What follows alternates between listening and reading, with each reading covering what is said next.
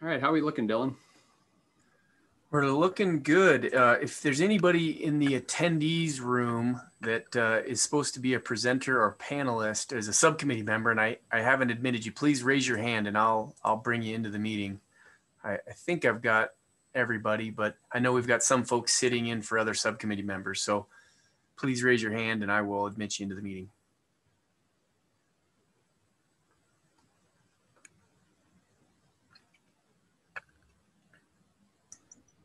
Before I forget to thank you, Dylan, I want to make sure everybody knows how much effort you put into making these things come together pretty flawlessly. I, I don't think the background looks quite like the flight control center. I think you need to run one of these, but sure appreciate your help. Yeah, thanks, Randy. Happy to help. I, it certainly hasn't been flawlessly, but uh, glad we're making these work. So thank you. Randy Dylan needs a lot of coffee. All right, with that, I think we'll get going. Um, Dylan, did you want to any uh, regular technical stuff you want to address with anybody before we get started, or are we good? Um, I don't think so. Other than if uh, you know, we'll be doing the public comment, and I think everybody here. Oh, there's Bill. I'll admit Bill in. Um, if you have uh, a question or comment during public comment, please raise your hand, and that will help me identify you. And then if everybody could please update their names uh, so that folks know who you are. And yeah, other than that, we'll get rolling. Okay, thanks. And so the for well, first, welcome everybody. I'm Randy Arnold, and I'm the regional supervisor for Fish, Wildlife, and Parks out of Missoula, and a chair of the NCDE. And um, we did introductions yesterday, and I I don't think we'll go through introductions again, but I do want to take a moment to uh, introduce some folks who weren't able to join us yesterday. Um, so first, I think I'll go to uh, Bill Avey, the vice chair. Morning, Bill. Good morning, everyone. Sorry I couldn't make it yesterday, but I know Sarah gave me a report out of the day. Uh, so appreciate being able to be on today. Looking forward to the dialogue. Right. Thanks, Bill. And I see Kurt Steele is with us today. Good morning, Kurt. Yeah, good morning again. Same with Bill. Uh, apologize for not being able to join yesterday, but uh, happy to be here today. And let's see. Uh, we have Chris Temple with us today. Morning, Chris. Good morning, everyone. So Chris will be presenting a little bit later. And we'll get a chance to hear from her. Um, let's see. Anybody else? I think that's everybody. But if I've missed you, I see Kathy Ake, although we introduced you yesterday. You're about to be up next, Kathy. Um, who else do we have?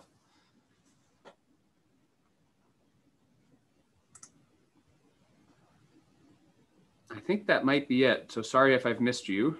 Um, and so with that, I'll quick look at the agenda. So we are going to be hearing from Kathy Ake next on habitat monitoring updates and, and an update on posting reports. Um, then we'll hear from Chris Temple on um, conservation efforts in Northwest Montana. And then the bulk of this morning, I think, will be spent talking about um, NCDE work plan and trying to get our arms around what that historically has helped us do, and then maybe get some direction there and some help um, uh, trying to outline clear priorities for 2021 and, and beyond. Um, so with that, Kathy, if you're ready, I think we'll turn to you. Hey, um, good morning. Um, hope everybody's doing well today. And I'm reporting back to this group on items um, from the fall managers meeting, specifically habitat monitoring reports and edits on specific sections of the conservation strategy document. So first off with habitat monitoring reports, um, as we kind of determined at the last uh, fall managers meeting, there are currently five reports that need to be finalized by this group before posting on the web page. Um, hopefully you all received an email on Tuesday with a zip file of those reports. My apologies, I was a bit late in sending those files out.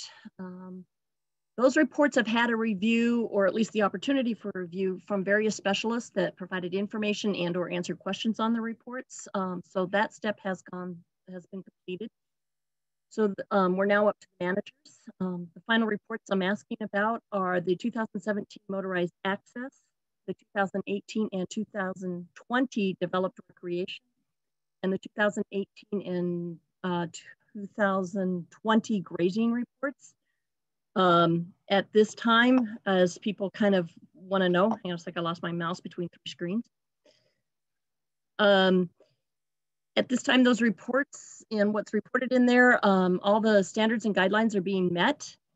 Um, I should add that there is, I'm starting to notice for some of these that there is um, some decision space for some of the agencies. Um, what I mean by decision space is where the agency has dropped below a baseline and at some time in the future is able to increase back up to that baseline. As an example, um, a rental cabin might have burned in some of these major fires we've had, which drops their number of sites per BMU.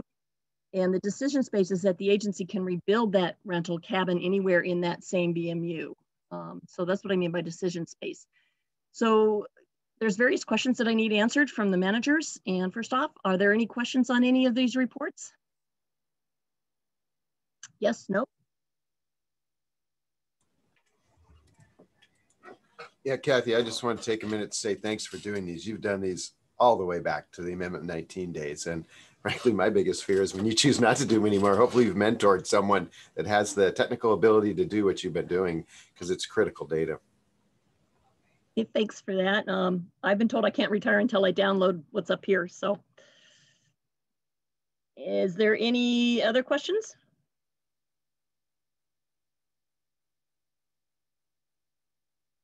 Okay, so then the next exciting question is I need an okay from the managers um, before we post these on the NCDE webpage. So is there any problem with posting these from the managers? Anybody have a problem? I'm good to go, Kathy. Thanks, Bill.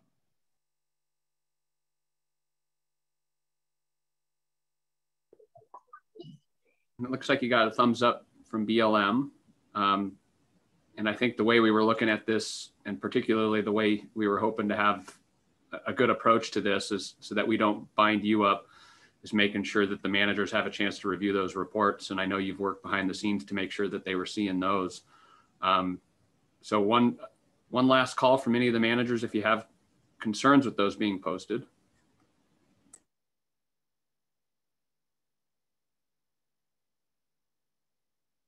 All right, thanks, Kathy. Okay. Um, so uh, I will get those to Dylan to get posted on the web page. Um, the other uh, next one is, if you've probably noticed, the 2019 motorized motorized access report is not complete. Um, outside of the subunits shared by Glacier National Park and Blackfeet, all the other subunits are done. Um, we had some technical glitches with the Blackfeet GIS road layer. Um, that layer just got finished. So the attributes and the GIS locations of the roads are uh, done, but they're waiting for a review. Um, I expect to have that completed within a month so that 2019 monitoring, uh, motorized access monitoring report will go out for review from the specialists.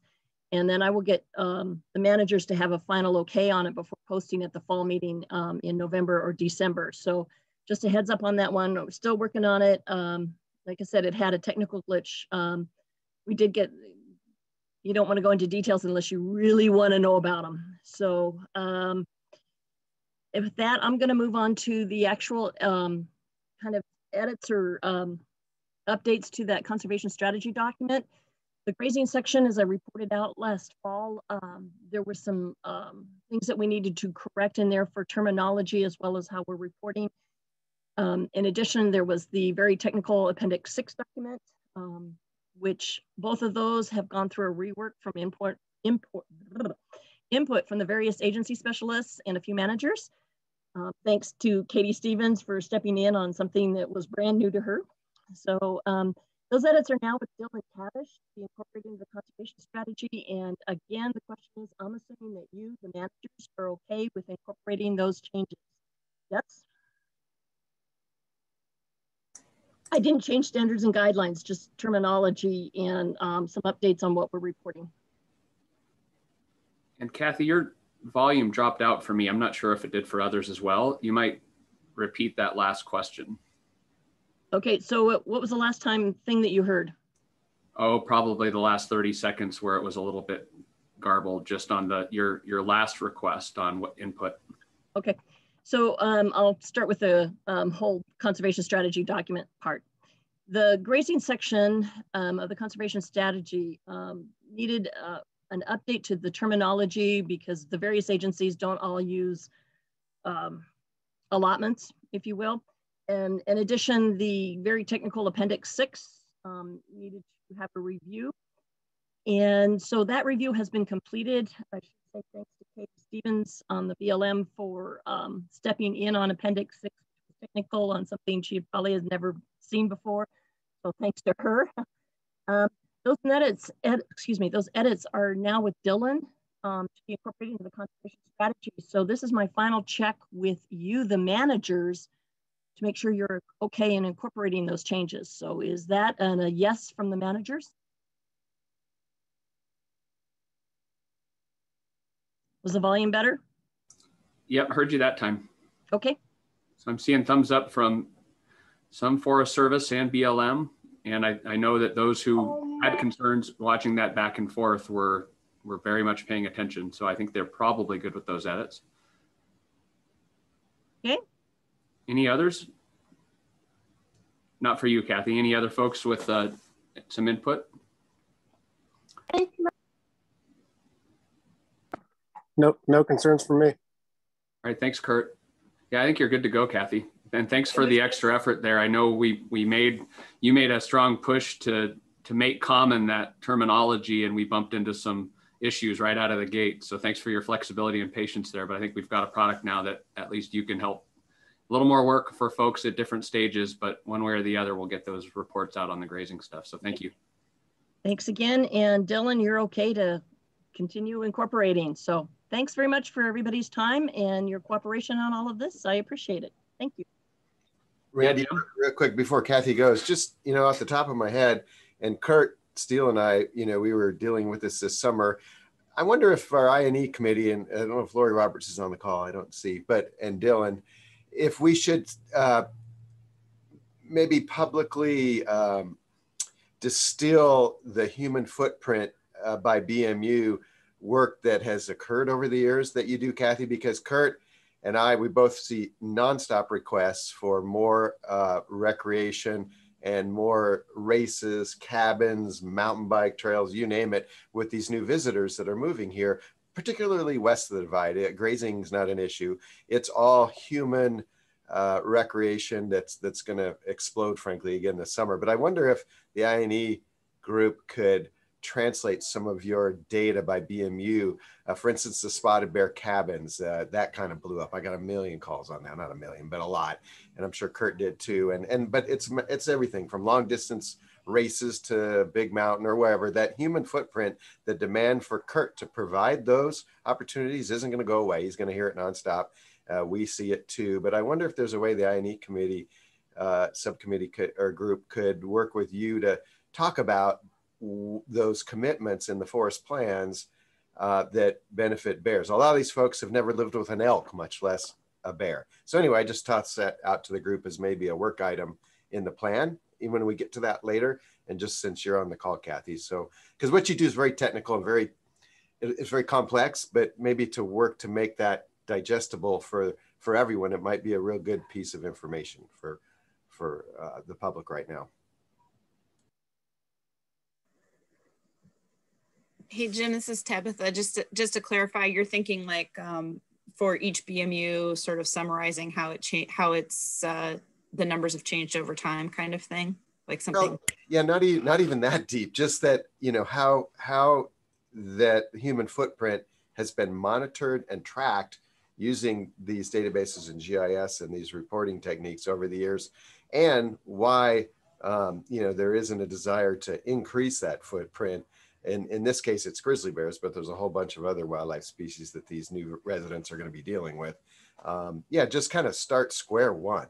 And what Kathy does, you know, Tabitha, as you know, is pretty pretty complex. It's, most people don't even know what GIS is, but uh, you know how we how we track that and why it's important. Why why were those standards put into forest plans in the first place? And that would involve the I&E folks to describe that, and, and Kathy and and Tabitha, some of the technical team to you know, emphasize the key points. I think that's going to be important because I know Kurt probably got hundreds of calls and and that's not going to go away. The demand to provide that all sorts of crazy opportunities on the forest is just going to grow, is my guess.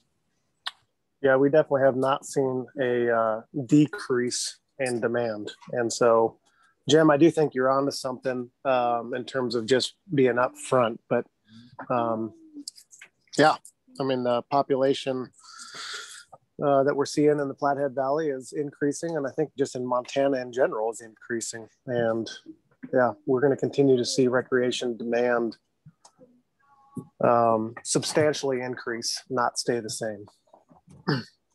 Yeah, no, I agree, and I think that data Kathy has is really useful, and and uh, it's wonderful that we that you've done this all these years, Kathy. Might as well use it uh, publicly too. Okay, I'll reach out to the I&E committee and uh, see what um, can be done. Thanks. Kathy, you're you're used to me uh, saying, "Explain this like I'm a third grader," because I am kind of like a third grader in this stuff. So I'll uh, this will be maybe a fun little project we can work on together. Okay, sounds good. Thanks. Yeah, great suggestion, Jim. Thanks for bringing it up. Okay, so thank you very much, Kathy, for your for your work and for those updates, and for getting that stuff posted so folks can can track all that good work. And um, I think let's shift now to Chris Temple um, in her presentation of Bear Walks Through It, 20 Years of Habitat Conservation in Northwest Montana. Chris? Thanks, Randy, and thanks everybody for having me. Um, yeah, I'm going to give a little presentation. Let me get it up here.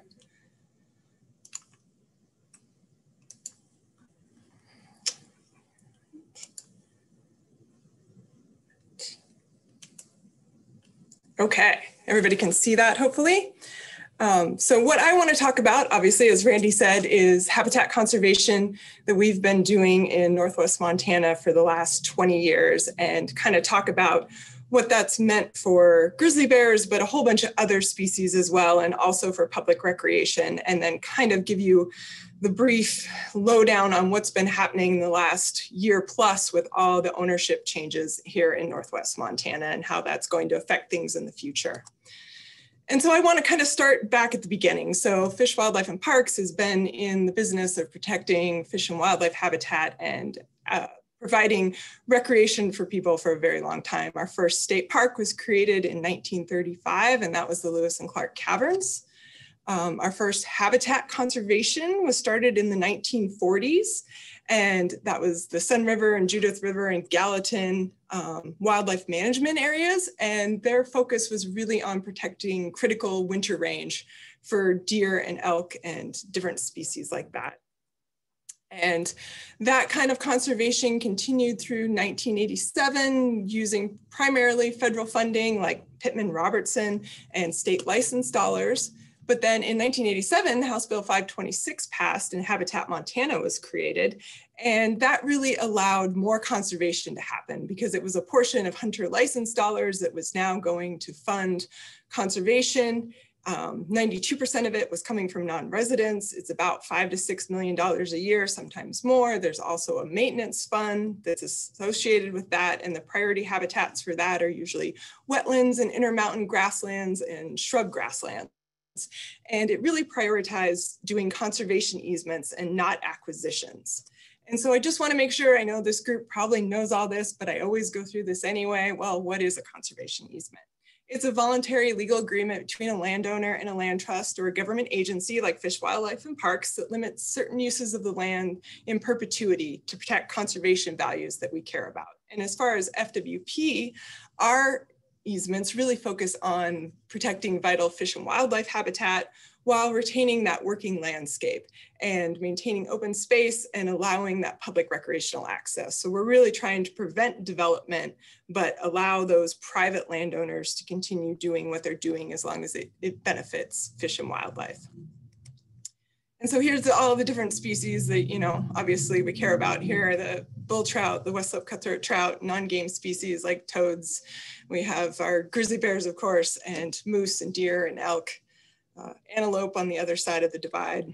And so I want to talk a little bit about Region 1 and what we've been doing. And we're really lucky here in Region 1 that we had a settlement with Bonneville Power Administration back in the late 80s that provided mitigation due to wildlife habitat loss due to Hungry Horse and Libby dams. And it created a wildlife mitigation program within Region 1, which is where I work as a habitat conservation biologist.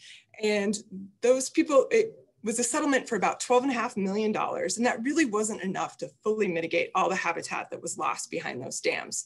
But luckily, Alan Wood and Gail Bissell were forward thinking enough and they decided, you know what, we'll use our staff time and bring dollars from other places using federal dollars and stuff to really stretch all this and work with partners to make conservation a priority here in region one. And definitely working with partners was a huge part of it. The trust for public land and local land trusts have been a huge part of the conservation we've been able to accomplish over the last 20 years and so a couple of the federal programs that we use, is one of the main ones that has funded most of our conservation here is the Forest Legacy Program from the US Forest Service. And that's a program that wants to keep um, forests from converting to non-forest uses. And it was really started in the Northeast where they didn't have all the national forests that we have here. But now it's a program that's throughout the country and every state and territory is part of it except North Dakota and it's a really highly competitive program, but our uh, applications do really well every year because we have just such a fabulous resource here in Montana. And another program that we use all the time is the US Fish and Wildlife Service Cooperative Endangered Species Conservation Fund, which protects federally listed species. And so we have a lot of those too as well. So we've really been able to use that and those programs all require at least 25% match and most of that has either come from private funding through foundations and different uh, funding partners like that, but um, it's also come from below market sales a lot from our uh, landowners who are willing to do this and a little bit too from our Habitat Montana program. We do use that as well for match. So let's go back to where we started back in the 1990s. So this is kind of a, a, generalization of what the what it looked like back in the 90s. We had Glacier National Park, we had all the forest land, um, we had the reservation, but then we had all this white land in between here that you can see between the NCDE and the Cabinet Yaak.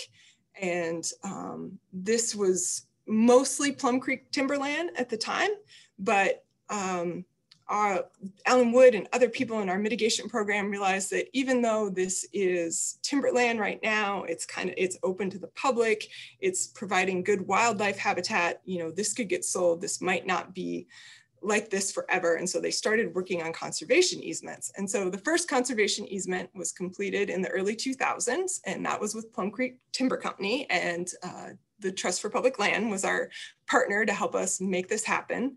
And it protected over 142,000 acres in the Thompson Fisher. And it was mainly to protect low elevation winter range, but there's also obviously grizzly bears in this area. Um, and so the next one after that, in about the mid 2000s, we moved over to the Swan Valley and we're focusing on this area. And we did a conservation easement that was just over 9,000 acres and also a fee acquisition of about 600 acres. And this was actually part of the larger project of the Montana Legacy Project, which protected over 320,000 acres of turned former Plum Creek timberland into DNR land, and some of it was purchased by the Nature Conservancy. So this was a really large project that we were part. And then in about 2012, we started working with Stimson Lumber Company to protect scattered parcels around Troy.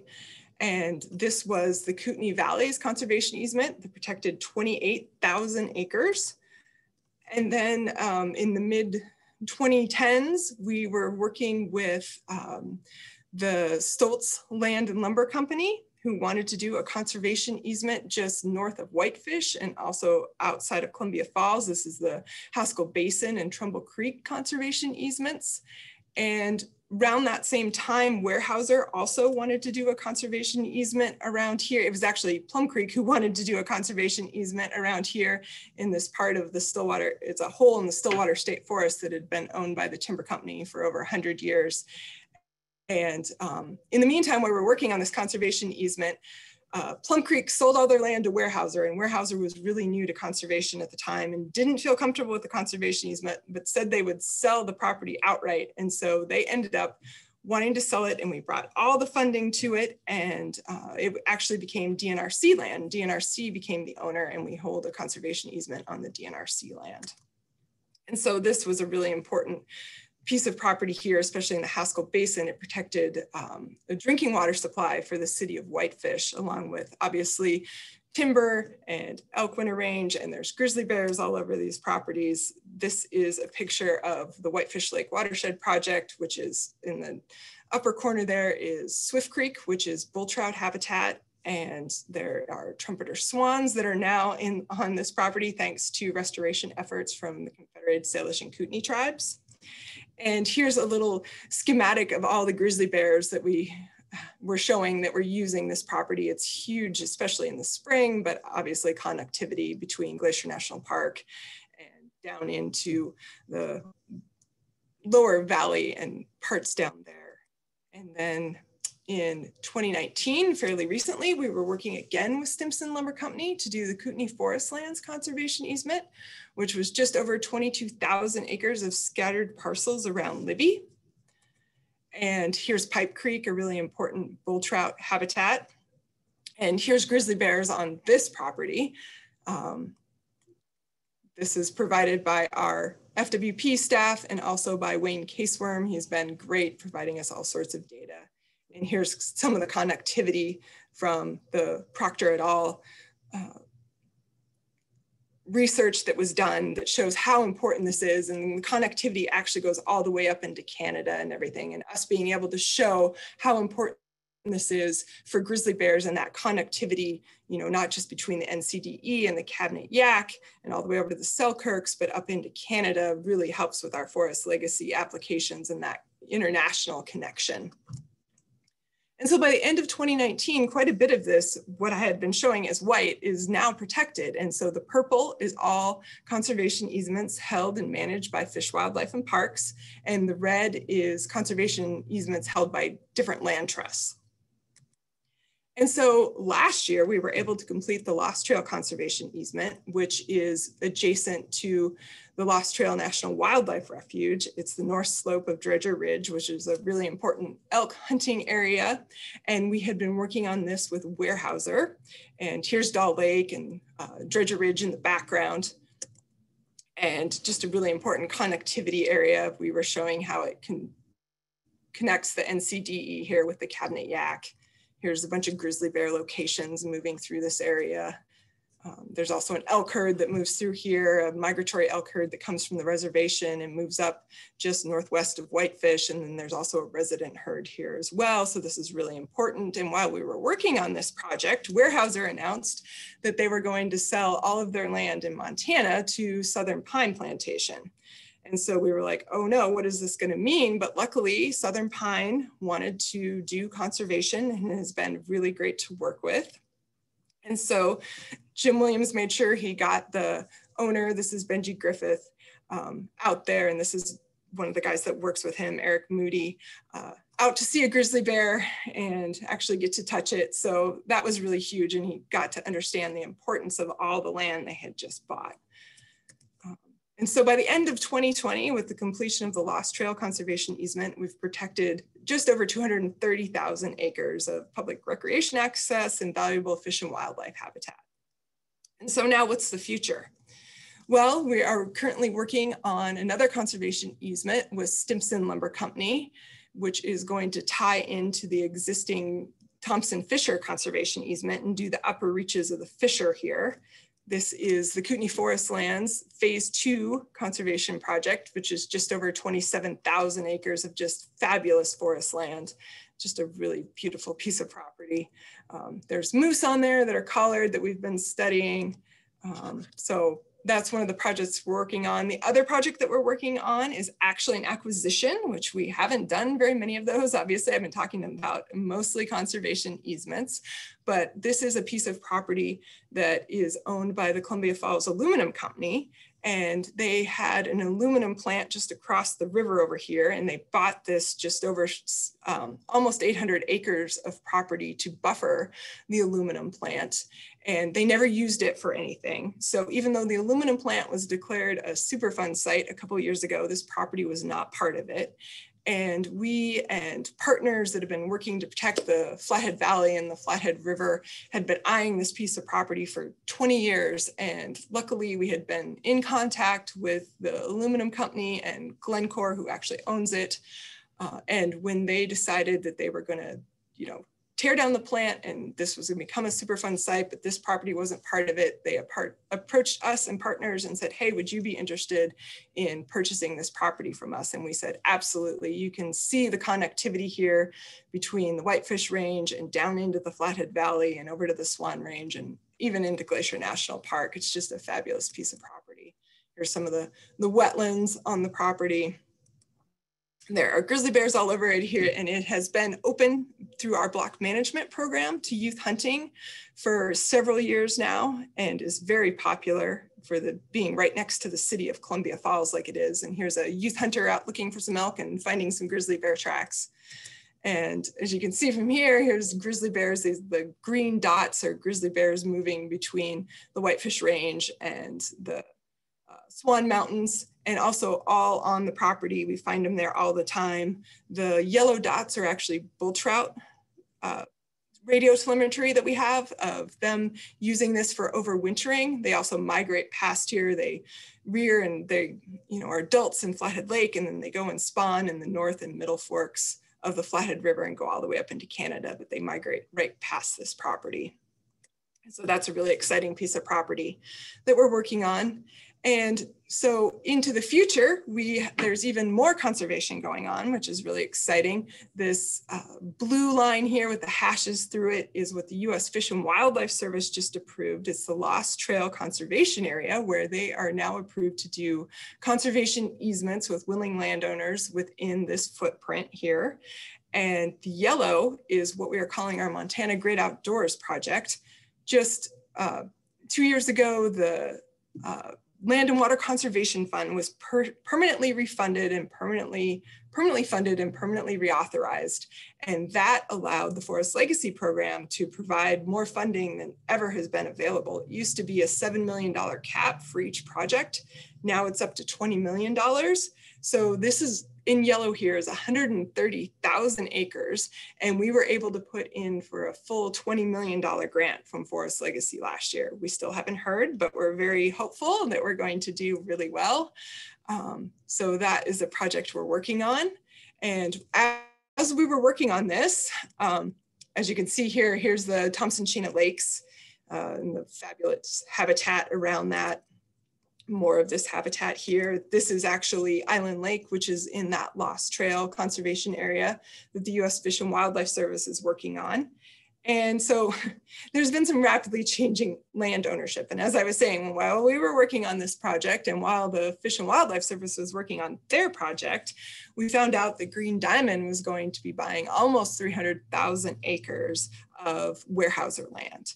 And so we were wondering what that was going to mean, but luckily Green Diamond, one of the things they said right off the bat is one of the reasons they were interested in buying this land in Montana is because all this conservation is happening. So it's really going to allow them to continue to own and manage this land long term, but get some money up front because a lot of it's really pretty heavily logged and it's going to need some time to recover. And so having conservation easements on here and some money up front is really going to allow them to be in it for the, for the long term around here. And so here is the latest ownership in Northwest Montana. Uh, this kind of darker blue is Stimson, which really hasn't changed. The orange is what SPP still owns, Southern Pine Plantation. The green here is now Green Diamond property, which they also own the Lost Trail Conservation easement now.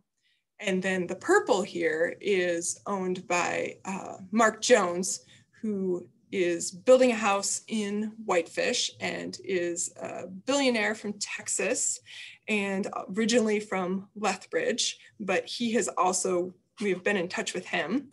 So hopefully he will also want to do conservation in the future And here's kind of our conservation thrown onto the ownership map now. So here's the, the Thompson Fisher, the, the uh, black here with the hashes through it are the conservation easements that are completed already.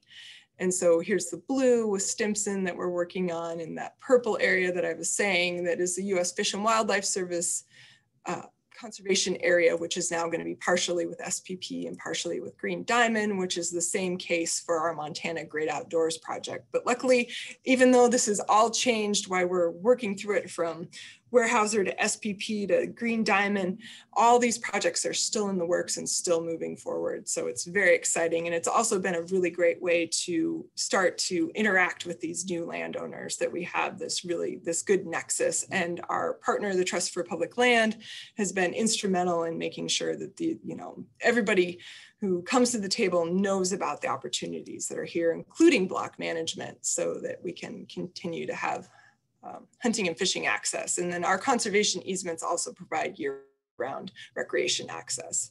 And so here is Jim Williams getting ahead of everything and meeting with Mark Jones and showing him, you know, uh, talking about his property and all the benefits of his property and how awesome it is for fish and wildlife and getting him excited about that, which he is. So we're hopeful that um, we know he's going to do block management. He's keeping his property open now for the public as long as they stay respectful. And uh, hopefully he'll do a conservation easement in the future, but that remains to be seen. So that's kind of a down and dirty of how much everything has changed around here in the last year or so, and then also all the conservation we've been able to accomplish over the last 20 years. And with that, I will uh, take questions.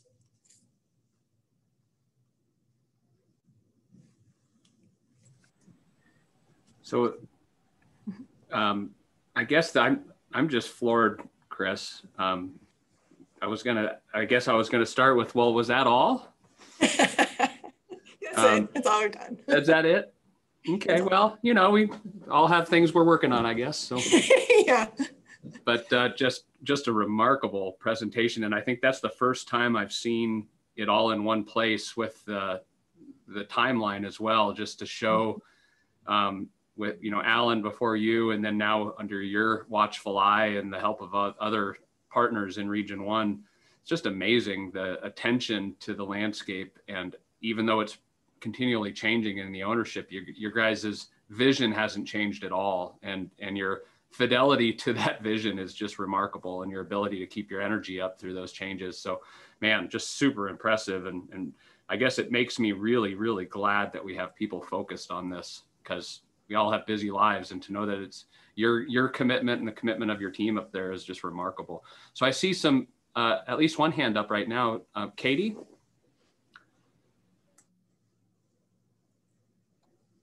Hey chris. Um, does fish wildlife and parks do conservation easements that are just for habitat conservation or is there always an access and recreation component to them yeah, uh, definitely. It's different in different parts of the state as well. Um, we usually have some access, usually at least for hunting and fishing or, or, just hunting. It depends, like especially in Eastern Montana, a lot of times it's private ranches, so it's very different. Here in Northwest Montana, we kind of kept it as um, these timber companies already had open lands policies and they were already allowing recreation and we just kind of memorialized what they had been doing. So it kind of made sense. And um, we were really lucky that we did that because people had kind of always thought of, I think, a lot of the timber company land as de facto almost Forest Service land or something like that. And they just kind of expected it. But obviously, with all these changes now in different ownerships, they are realizing that isn't necessarily the case. But, you know, Fish, Wildlife, and Parks, a lot of our conservation, especially when we're using Habitat Montana funding, it's really to protect habitat and recreation is something they want as well and especially hunting access but you know it, it's not the focus but it, it usually fo- you know factors into most of our easements but uh, region one's a little bit different for the most part in just because of the timber companies that we were working with the landowners. The landowners always have to be willing to do whatever you know we agree to so every easement's a little bit different. Thank you Yeah, Chris, yeah, I think you said it before, but I, I just want to circle back to it that this, these for sure, because it's kind of a common confusion sometimes, these main, remain privately owned and those property owners continue to pay property taxes, correct? Oh, yeah. Yep. Yep. And could you also talk a little bit about, you know, another reason this has been able to happen is the Forest Legacy Program has ranked many of these projects like top three or top five in the nation, correct? Could you just talk a little bit about how not only do we think this is pretty cool up here in Northwest Montana, but nationally these projects have stood out as like the gold standard. Is, am I uh, being a little hyperbolic there or no? No, absolutely. We've had number one projects. Our um, Trumbull Creek project, our Haskell Basin project were all number one. I think everything's been at least in the top 10. Most of them have been in the top five um, we just do really well. They have the criteria of, you know, how threatened is it? Uh, how is it strategic? And what is the importance? And the importance has to do with threatened and endangered species. It has to do with um, just other species habitat. It also has to do with recreation or cultural reasons. So there's a whole slew of things. And like I said, they do look at this at a national level and you're competing against, you know, 50 other projects, sometimes more than that. So because um, states can have more than one project. They can have up to three projects. So um, for us to consistently rank in the top and to get full funding all the time that we ask for for our projects is just amazing. And uh, the Forest Legacy program just loves our projects because not only do we apply for the funding, we get them done. And we get them done the year that the money is appropriated, and that's huge. And a lot of that has to do with us having staff, luckily, in Region 1 in our mitigation program that has time, like me, to just focus on this and to actually be able to do that. You know, so our mitigation program has really afforded something that um, is benefiting a lot of people and um, and species and habitat. So it's it's really exciting.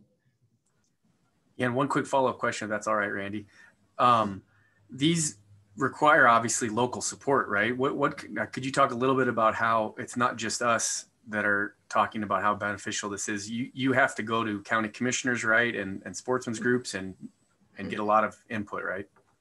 Yeah, definitely. Our um, conservation easements, we always have to do an environmental assessment. They go out to the public, we take public comment.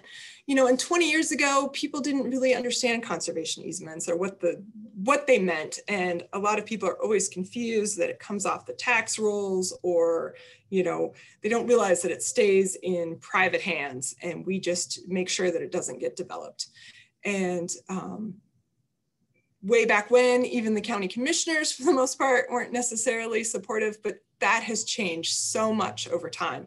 Every, um, our last conservation easement, that Montana Great Outdoors Project is actually in Sanders, Lincoln, and Flathead County. And all three county commissioners, uh, commission boards so all you know nine people supported this project so that is really huge and then like our Badrock Canyon project in that's just outside of the city of Columbia Falls, the city, the mayor, and all the council members are supportive of that.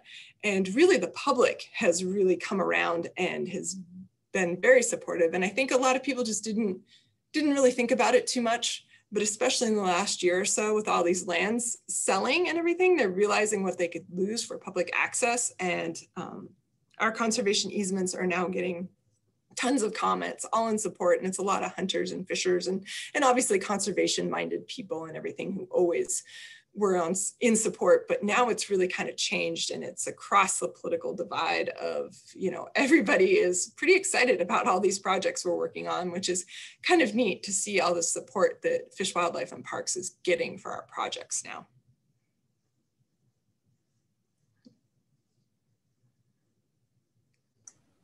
Great. Thanks for the follow-up questions, Dylan. Any other questions from anybody else?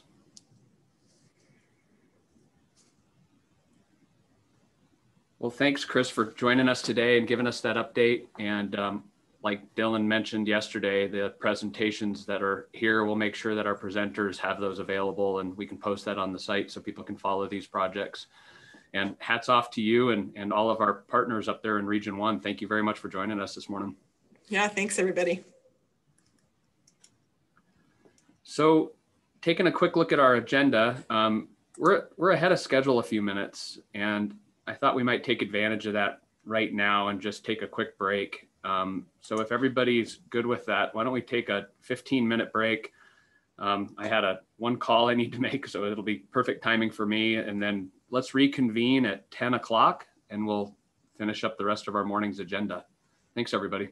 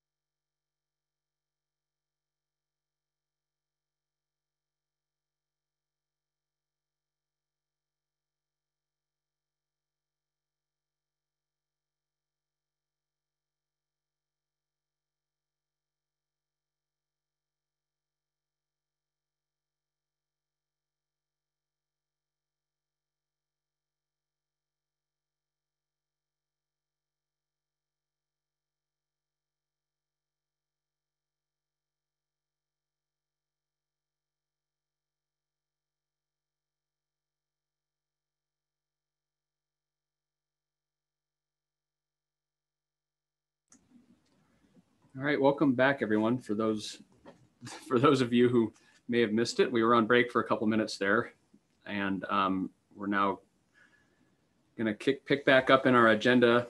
Um, our next item, which is broadly being described as NCDE work plan review and 2021 priorities. And I thought it would be helpful. Um, we'll, we'll, dive into this with a, quite a bit more detail, but our aim here was to have a more intentional conversation around our work plan and what we've identified for 2021.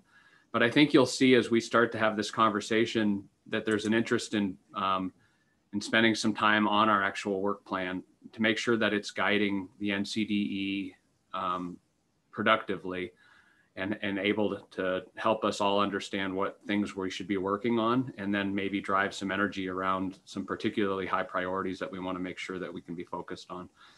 And just a little bit of background now, I'm, i might provide some later as well, but when I first started attending NCDE meetings, um, it was evident that the the huge benefit of just being collaborative and coordinating um, a couple times a year and was was evident. And that was just such an, an, an easy low hanging fruit benefit of the ncde getting together. And then the the influence and working together around the conservation strategies and setting standards and those accountability that comes with that. And then each agency with their own requirements and underlying regulatory measures that they've put in place. And so with time you get a familiarity that the ncde also has this big machine behind the scenes a little bit and it wasn't until a few years into it that I started to recognize that this work plan and the work plan priorities was a really good tracking mechanism. Um, when I became chair, it became evident to me that I had responsibilities for not only looking at that work plan, but reporting the outcomes of that work plan to the interagency Grizzly Bear Committee. And if nothing else, it serves as a collection point for what we're doing and what we're supposed to be doing. Um, but I'll we'll we'll return to that with a with a glance at that work plan and some specifics in it. Um, but I wanted to start first with giving Dylan a chance on um, information education outreach updates and the connection to IGBC. And so with that, Dylan, if you want to um, give your update and then we can start turning towards um, other elements of that work plan. Sounds good. Thanks, Randy. Um, yeah, I just have a, a relatively short presentation I will go through uh, right now. Uh, can everybody, can you see that, Randy? Yep, we're good.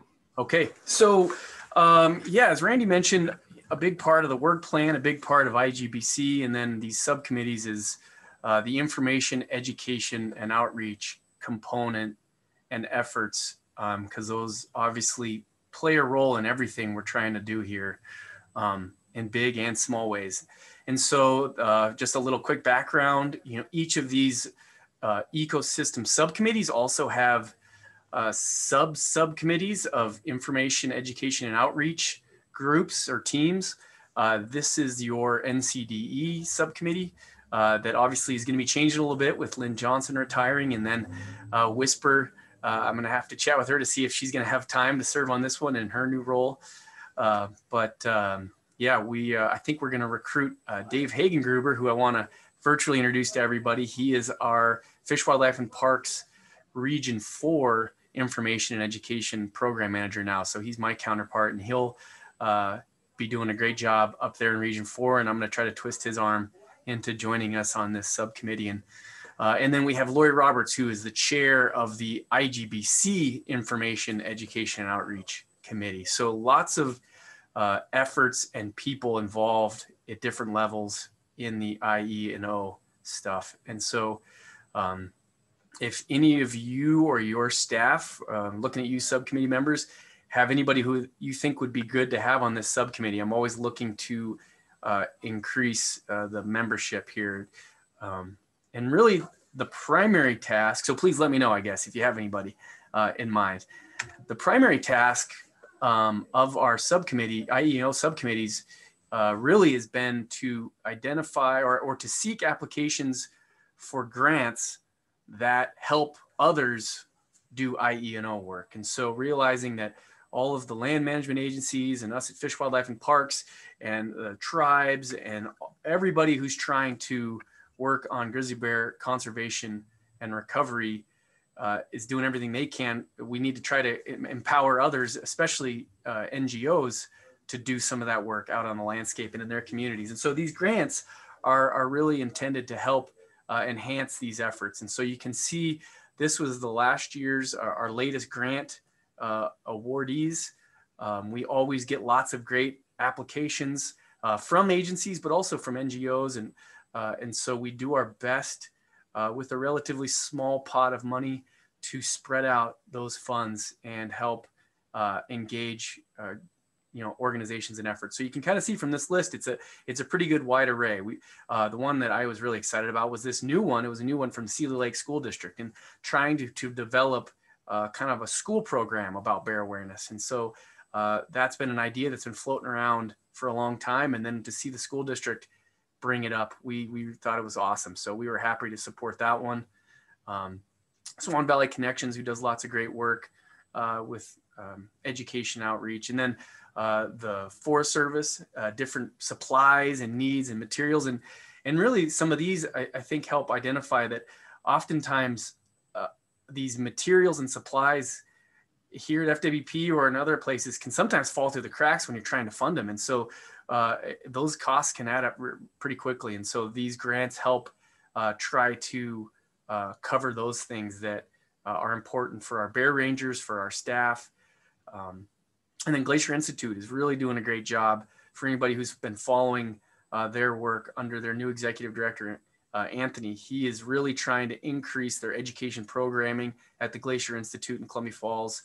Um, and so a big component of that that Anthony's really interested in is bear education. And so they are really stepping up uh, and putting out some really great programming on bear education. So we were happy to support them with an IEO grant.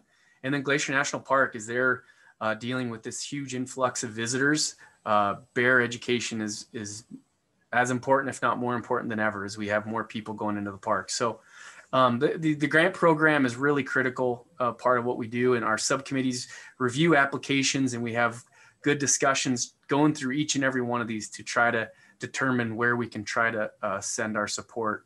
Um, and so we will be going through another round uh, at the end of this year, although uh, that might be changing the time frame as far as when we open up applications and, and and go through that review process. It sounds like that might be changing a little bit, but we always advertise that on the IGBC website and then try to get out news releases as best we can to get people aware of that to put in for grants.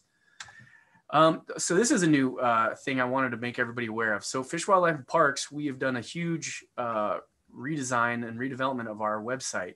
And um, I've been working with our webmaster and, and a couple other staff uh, in Helena to get that uh, old website kind of updated and merged over into this new one. And so the the one that I kind of spent a lot of time on here recently was getting this grizzly bear site developed. And so I wanted to make everybody aware of that because uh, with any new website, you got to learn how to navigate it. So I wanted to just take a quick minute and, and surf through this so people are aware uh, about all the information and resources about grizzly bears. So um, you go to our main Fish Wildlife Park site, uh, and you go. So here's fwp.mt.gov under conservation, and then you scroll down, and this conservation page is intended to be where everything about our management and conservation uh, efforts are going to be found. So you can see here's bears right here, but also uh, this top thing is going to change every once in a while with kind of seasonally relevant information. But here is kind of species management and research. Um, and so there you go, bears and the goal is for this to be a one-stop shop for everything you're looking for for bear inf information about grizzly bears and black bears, uh, including here's safety messaging. Um, you can go here and we've got lots of videos. Um, I know right now it's pretty uh, text heavy. Uh, where once we kind of have a chance to catch our breath, we're going to look at ways to try to break this up uh, to make it a little less dense, but there's just lots of good important information, as everybody knows, that we're trying to get across to people. So we've broken it up into kind of individual activities, recreating, camping, hunting, angling, uh, biking, agriculture, living with bears, and then uh, encounters. And so, like I said, lots of information. Uh, this isn't a finished product, but for now, it's all at least in one place. Um, management conservation. This one's important for anybody who's wanting to know about uh, or looking for our latest uh, research and management reports. Um, so we've got lots of links here to U.S. Fish and Wildlife Service resources as well, uh, information about the recovery zones, uh, our management plans, and then here's where the annual reports are, which I know folks are always looking for the latest versions of those. So um, this is where we'll be posting, like for example, we've got Tim Manley's uh, 2020 report right here that you can download. We got Kim's report from Cabinet Yaak and then Wesley's report from Region 4. And as we get more reports, we'll be filling those in here. And these reports, for anybody who knows, is just filled filled with lots of great information, a lot of IEO stuff as well.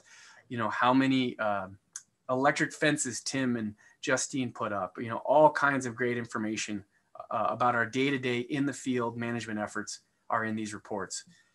And then down here, we've got information about conflict response. Um, and then here's some, uh, another great section, and this has a lot to do with you know Cecily and Lori's great work on research and monitoring. And so all of Cecily's reports, like she mentioned yesterday, those all live right here. And so um, you can find all the reports right here under annual reports, and then information about Greater Yellowstone. You know, you can get a link to the Interagency Grizzly Bear Study Team website, and then Cabinet Yaak. Here's a little shout out about IGBC, and then some stuff on black bears. So you can see the goal. And then here's bear ID, knowing about making sure you know the difference between grizzly bear and black bear. Um, so you can see the goal is to have everything you want to know about bears on this landing page. And then you can, here's for, you know, educators and people who are looking for just fun facts about bears. We've got those all listed here. Um, hunting information for black bears. And then this one's obviously important too for uh, contacts for how to get in touch with our bear managers. Um, regardless of where you're at. So just wanted to kind of do a quick little rundown uh, for anybody wondering where you can find this on our new website. Conservation tab up here at the top is going to be uh, the place to go for that stuff. Uh, speaking of websites, we're also still working on getting the IGBC website updated and hope to have that uh, opened uh, for, uh, I think, some bids here soon. I know that's been a long um, project that's been long in the works and so excited to see that making some progress. Um, out of our subcommittee discussions, you know, a consistent uh, need or, or, priority that we've identified is consistent messaging, particularly involving signs. Um, you know, there's lots of different signs out there and lots of different brochures, and and and sometimes that can kind of um, muddy the the messaging a little bit. So we've taken a real uh, concerted effort at identifying just consistent messages and consistent signs for fish, wildlife, and parks. These are two of them. This one on the right, uh, the with the fast-paced recreation signage is something we worked on, and Amy Jacobs played a huge role in helping make that happen. Um, and then our, our uh, the sign developer in Fish, Wildlife, and Parks, Amy Glasscock, took our ideas and turned it into this sign that I think is really effective. And the goal now is to get the template of this sign to anybody who wants it. So uh, we're going to post it on our Fish, Wildlife, and Parks website as a, uh, an image to download, and then the IGBC website, uh, with the goal being any NGOs or other agencies who want this sign can take it and use it. They can swap out their logo if they would like. Uh, you know, we'd prefer that they didn't change the messaging because that would obviously defeat the entire purpose. But they could change, you know, the the contact information or the logo particularly and then slap that sign up at trailheads or wherever they'd like to see it. And that way we start to build a little repetition in the messaging so that regardless of if you're going to be on a forest service trail uh, at a fish wildlife and parks park um, anything like that you're going to see the same sign and you start to recognize that repetition of message. And then hopefully that starts to build some awareness and education. And then the sign on the left is uh, another bear awareness sign that is being used at some of our fishing access sites. Um, so stay tuned for uh, kind of how you can get that sign. I've already sent it out to Glacier Park and some of our other partners like Whitefish Legacy Partners to see if they'd be interested in using these. So um, hoping to see those out at a trailhead near you. Um, and then just kind of lastly, other outreach efforts that are ongoing with Fish Wildlife and Parks, but also all of our uh, partners here um, staff training. Uh, Daniel Euler, who uh, is just an excellent educator uh, who deals with living with wildlife issues statewide, but primarily grizzly bears and bear education, has put together some really great uh, videos and is doing staff training uh, across the state to, about bear awareness um, and how to use bear spray. And so you may have seen some of these videos that are going out regularly on social media. And then um, we're, we're putting out these video resources again for agencies to use for their own training purposes.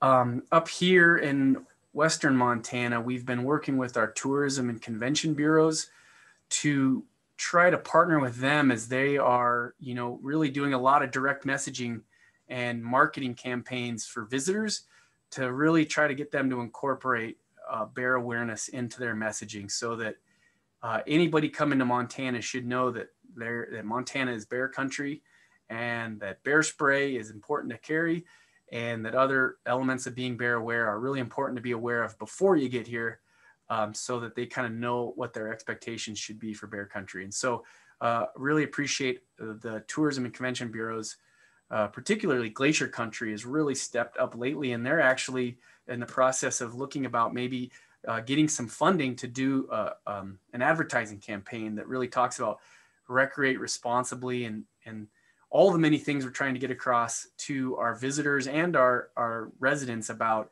uh, kind of the old school leave no trace principles that we've heard talked about as a need. Um, we're really trying to revive those and uh, re-emphasize those messaging. You know, leave no trace, but and a big part of that is uh, bear awareness here in Montana. So they're going to really help us carry that messaging out uh, statewide and then collaborations, uh, lastly, you know, Lori Roberts has done an excellent job as the chair of IGBC of looking at some projects that we can really um, make our signature efforts. And one of these that's in the works right now is developing a Bear Smart community program that would um, partner with willing municipalities that are interested in, you know, being certified as a Bear Smart community, similar to the program they have in British Columbia and finding ways to really uh, enhance bear awareness and bear safety in these communities that are in bear country. Um, and so this Bear Smart program that's in the works would help identify criteria for how you would be certified as a Bear Smart community. Um, and we've got some examples of this already across the state. Um, and we've had great presentations in, uh, uh about those and what's working and, and how to do this and how to really encourage municipalities to get on board with this. And so um, I believe Lori said the goal is to bring uh, this draft program idea to the IGBC Executive Committee at the winter meeting. So uh, between now and then, we're going to fine tune this a little bit more. And I'm really excited though about this project as a way to really ingrain bear awareness into our uh, municipalities and, and really find partners through them in, in these efforts. Uh, I'm probably forgetting something. So, so, Lori, if I forgot something, chime in. But otherwise, um, I think that is it on just kind of a rundown of information education and outreach efforts. Um, and although this has the FWP logo on it, don't be confused. This is involving our, our Forest Service partners, our tribal partners, National Park Service, everybody. This has all been a big team effort. So I just happen to have the FWP PowerPoint slide.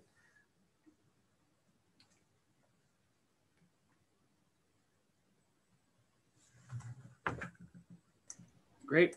Thanks, Dylan. Um, trying to think what's easiest next. So first, I guess one thing that popped up into my mind was just the, as we talk about NCDE priorities and work plan, um, for those of you who have been paying attention, the, the IGBC um, information and education subcommittee is relatively new. Um, and it came out of an interest by IGBC and the subcommittees to, to find or to normalize or, or find consistency across all of the ecosystems and the subcommittees uh, with messaging and the rest.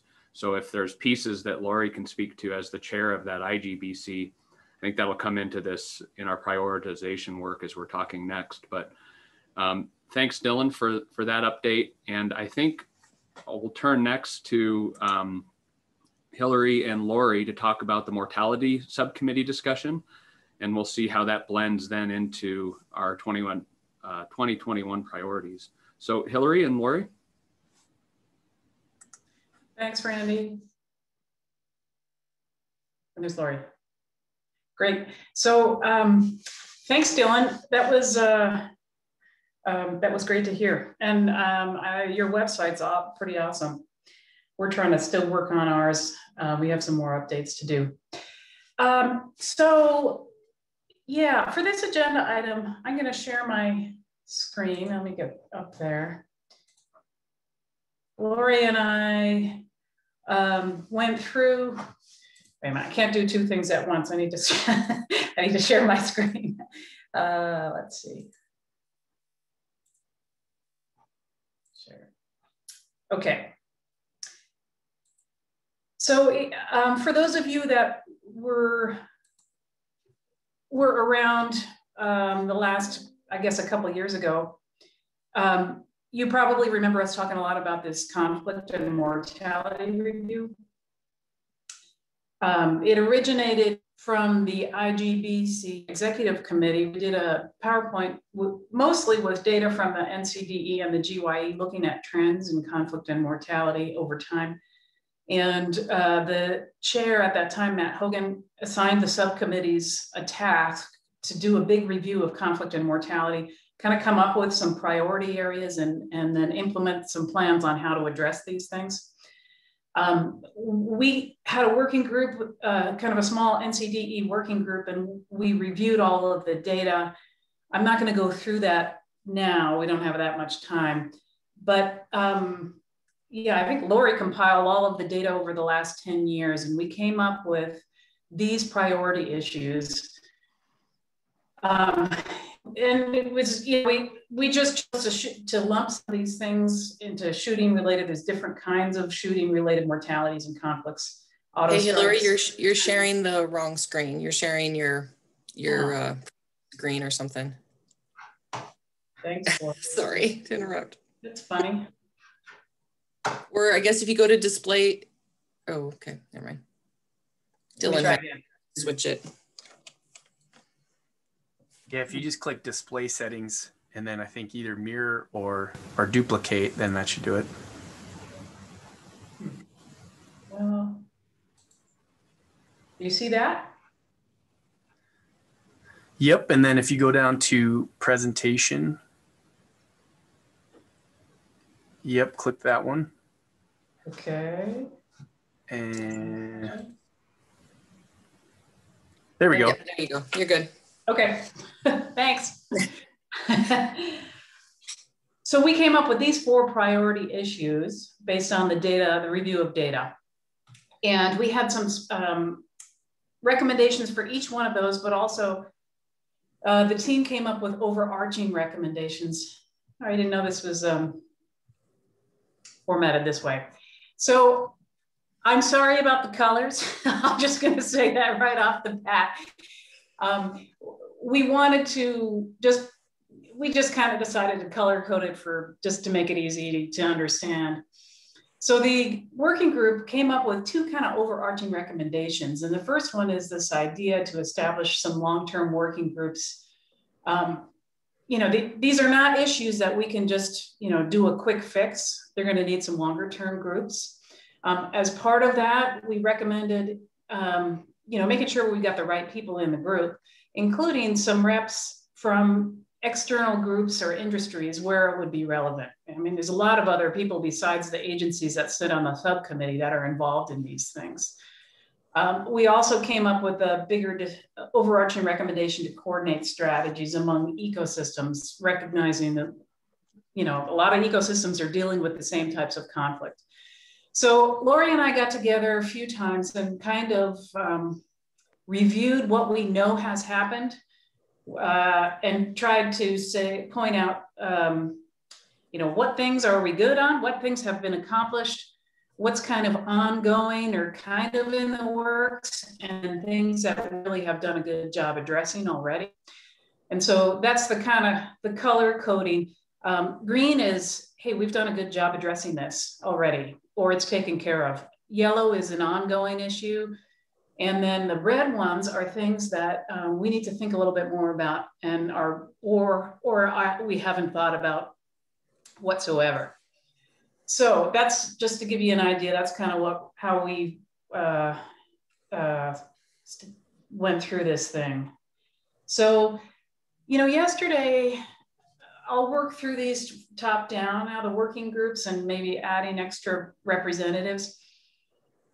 Um, Yellowstone Ecosystem Subcommittee is currently, they've identified the same thing. So they're trying to figure that out. You know, there's, there's some just basic questions about how would that work? How do you, you know, you don't want 100 people on a working group. There might, if you have 100 people interested, you can't have everybody efficiently working together. So how, how do you do that?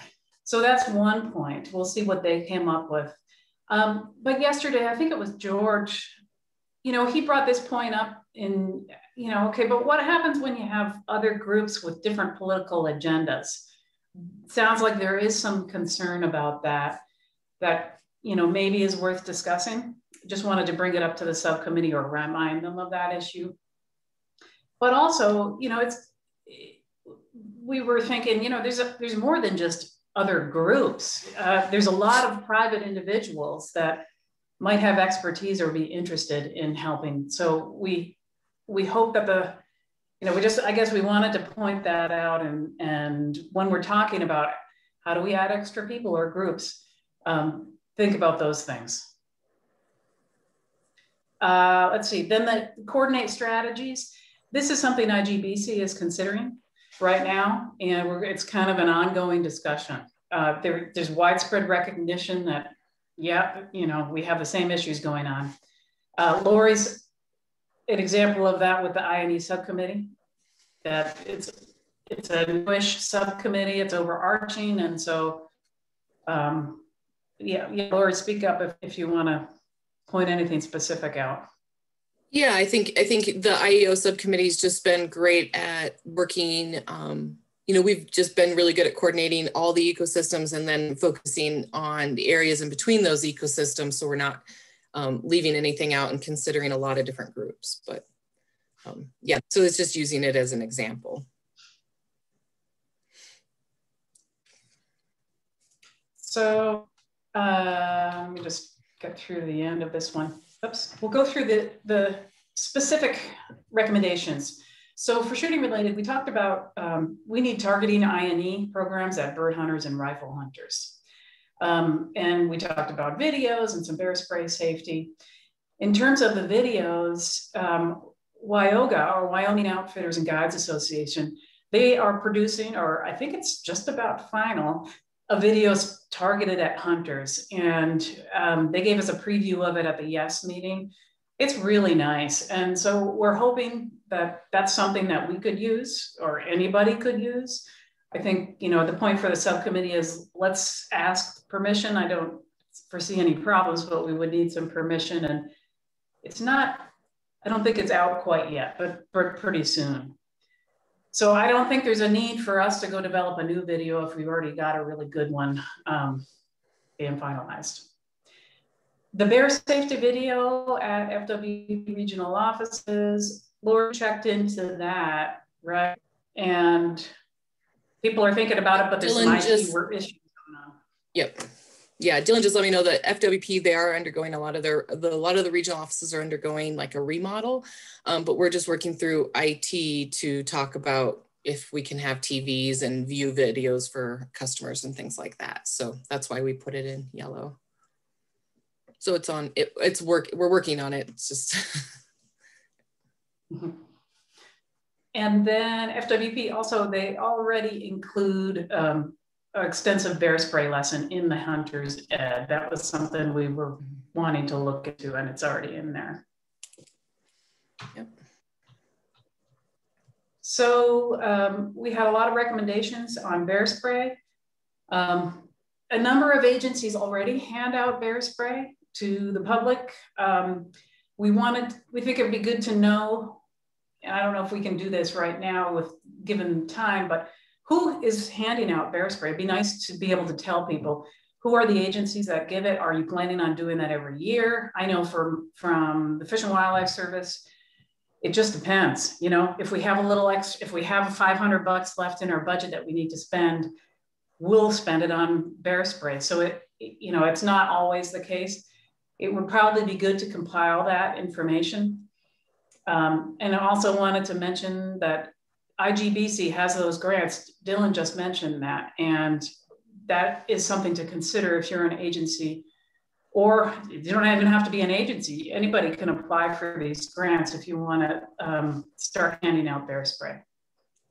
And to um, for you agencies, know, oh, one sorry, one thing I remembered for agencies too, if IGBC, if we have leftover money in the IEO um, grant fund that's a smaller amount, we do the same thing. We buy bear sprays and we are willing to hand them out to agencies to use for education purposes. So um, also another opportunity there.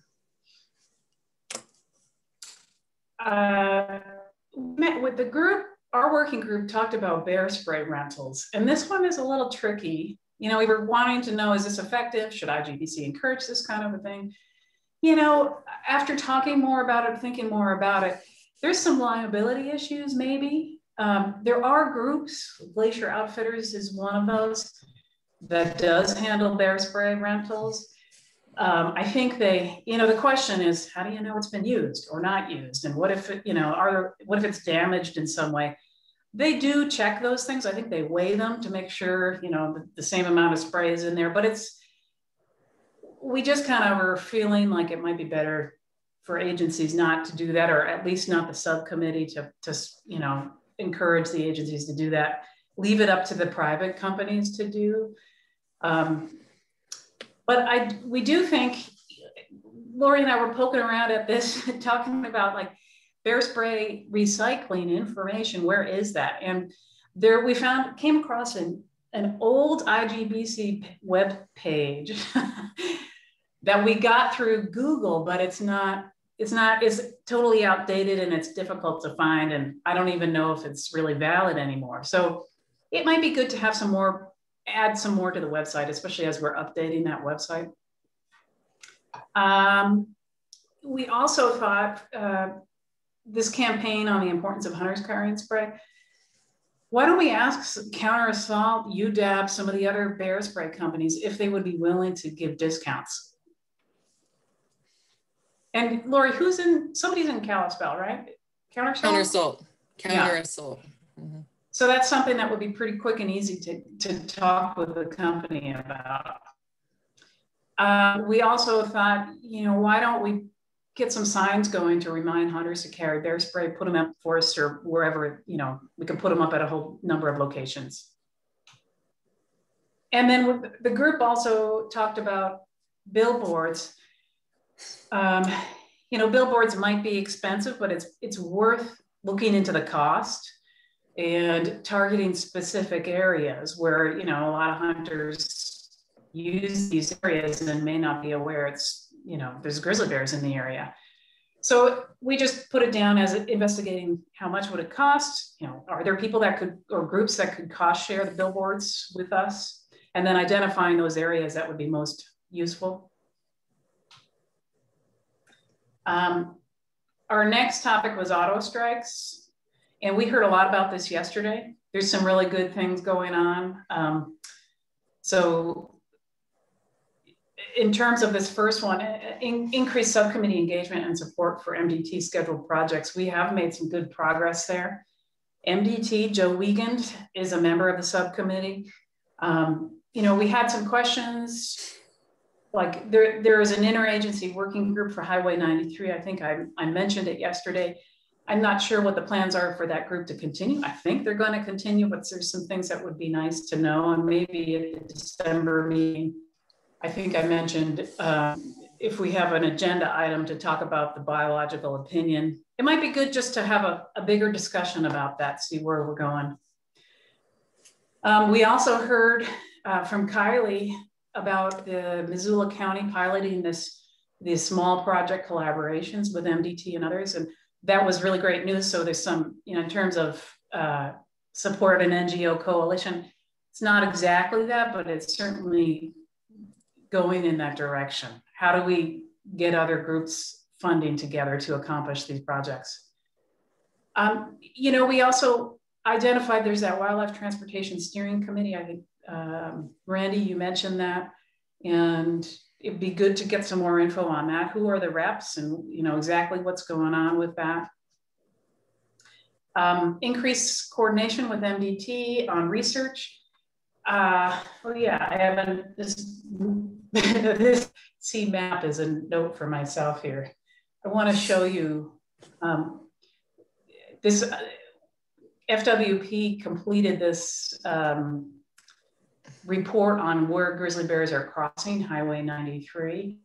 And we thought it would be good to show you the map of that area and where we're talking.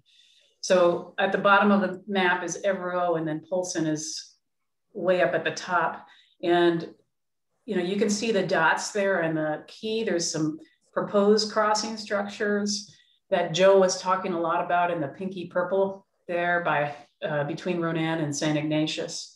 Um, then there's the crossings with documented use and constructed wildlife crossings, mostly to the south. So we just wanted to give you a feel for that. So, you know, back to that, FWP completed that report for the crossings that was incorporated into the biological opinion that um, the Fish and Wildlife Service put out.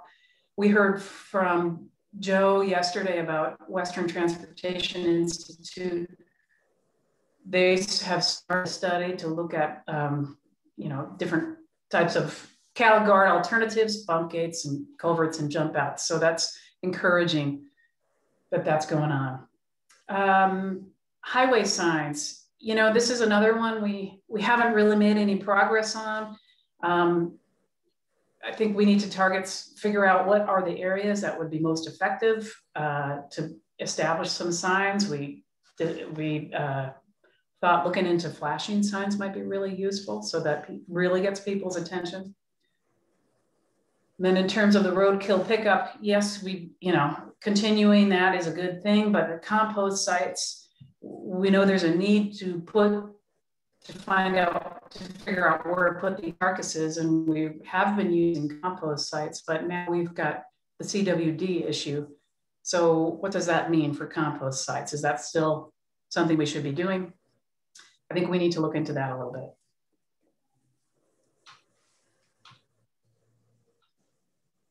Okay railroad related oops. The top three are what this that earlier working group came up with. You know, um, it's great. And last year we actually didn't have any railroad mortalities. Um, we got an update from Ben on the HCP. That's expected to be completed this summer, but it does depend on extent of revisions. Um, we heard a little bit about the Highway Connectivity, Highway 2 Connectivity Working Group. Um, we were wanting to know if that group is going to continue to do some work in the future. Um, I put this third green bullet, Region 4, MDT, and Montana Highway Patrol. Last year, there was a situation where there were some, is it horses? I think there was, there was a horse hit on the highway and some other carcasses that were killed in a vehicle collision and attracting bears, and it was kind of near the tracks. And so um, we were trying to get those things picked up pretty quickly. MDT didn't have the, you know, a heavy duty truck to do it and had other priorities, or they just didn't have the staffing resources. So it was a, you know, for Gary Bellotti and Corey Lecker worked with Joe Wiegand and the Highway Patrol you know, kind of come up with a strategy. It, it's not real complicated, but it's, I think Region 4 came up with a heavier duty truck to enable them to do that. They kind of came up with a strategy to be able to respond to those things a lot quicker. Uh, yeah, you know, we just wanted to put this in front of the committee, subcommittee too, to find out, are there other things that we think we should be doing in terms of railroad um, related mortalities.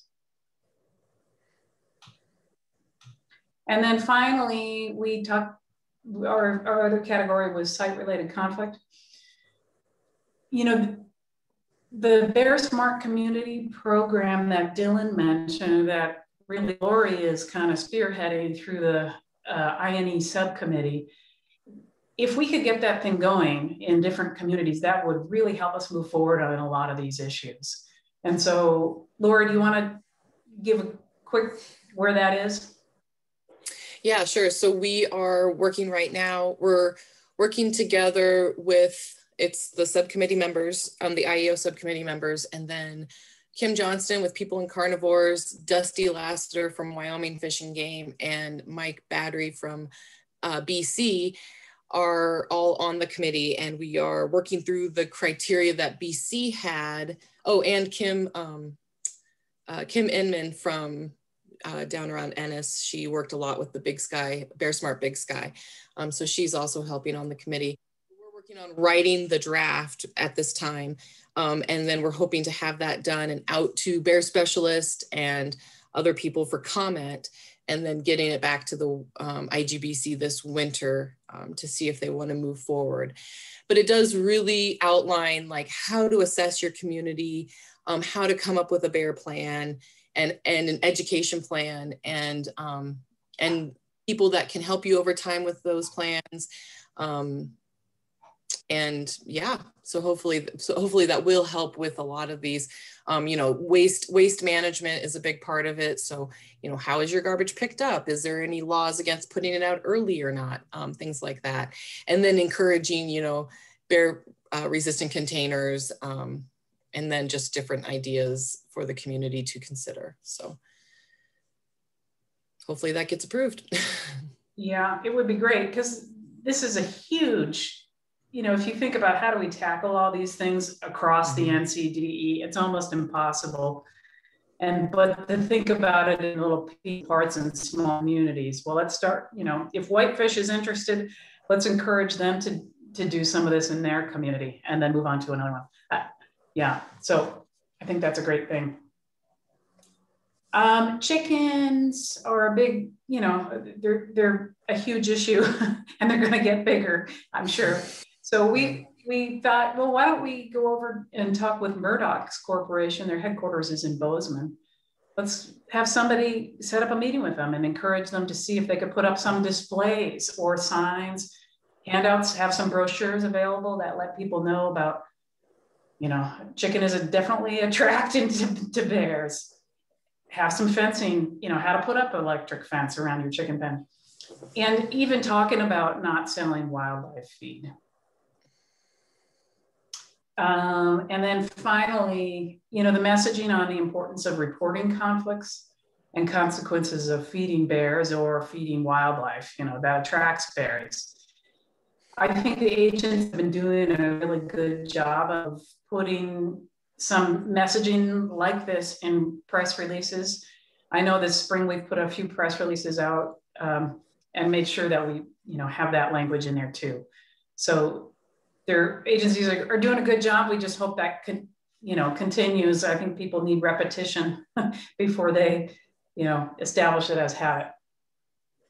So that was the update I have in terms of, um, yeah, that conflict discussion. And so, Randy, this leads into, you know, the whole work plan discussion. What I've done here is I've just copied and pasted from that work plan spreadsheet um, what the goals and the bullets are the objectives. And so we were thinking, you know, it would be nice to incorporate some of these things from our discussion, the red items, you know, what do we need to work on? Maybe think about it, incorporate them into the work plan. Yeah, that's a perfect transition, Hilary, because I think that, so first, th- thanks for that summary. I, I, it might be helpful, and, and maybe I'm just saying exactly what you just said. Um, but for me, it was a really interesting approach to what the NCDE was doing, and that the and all the subcommittees, and when the chair of the IGBC, uh, Matt Hogan, sent his letter to the subcommittees to focus on this, it was it was data driven on where are where are the mortalities occurring? And so when, when that mortality subcommittee came together, um, it was a it was such a, on one hand, such an, a thoughtful approach, an easy approach to, well, so where are bears dying? Where can we focus our attention? But it really did focus us. I thought it was really good to focus on, and and therefore, this report I think is super helpful. And as you identified, each of the subcommittees in going through that effort similarly did a lumping and splitting exercise of trying to figure out where their mortalities were. And semantics mattered because you could lump and split depending on where those mortalities were.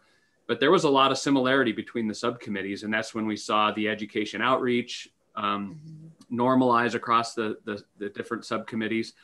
And so I, I just really appreciate this update and looking at it in that way and the progress that you guys have made and focusing on those things. And then I'm hearing from you, Hilary, a recommendation as we, as we, as your group and that mortality subcommittee has identified next step items or those red items where we still need to make some progress, making sure that that loops back into our 2021 and future work plan priorities. Is that what you're thinking? Yeah, I think it would be great. It's that's kind of the logical next step if we really want to accomplish it. And then, you know, one thing I've noticed the work plan, we haven't really done a great job of using it actively. And so this is something that I think, you know, if we stick some of these things in there, I think that would be great.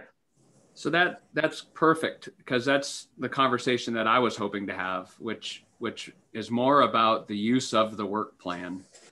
And so I'll be really candid when I, as I've worked on that, um, it's an exercise on on one hand. I know that we're doing this amazing work. I can point to Chris Temple's presentation this morning, and I that that's such important work and it's such a high priority, and and I can be pretty certain that Chris Temple tomorrow is going to go do that work, whether the work plan said it or not. I mean, maybe not. Maybe she's right. taking some direction from the work plan, but but I'm but I'm confident that we would also be doing this education and outreach work, although maybe with less coordination, were it not for the the work plan, but the work plan isn't isn't driving this activity. And so when it comes time to populate that work plan, it's it's an exercise prior to the next IGBC meeting to update all the good work we've done. Mm-hmm. And as I'm doing that, and I'm working with Lori and others to do that, it's not an exercise of looking at the work plan and seeing if we made progress as much as it is how do we capture all the really good work we've done and where do we put it on the work plan to take credit for all that really good work?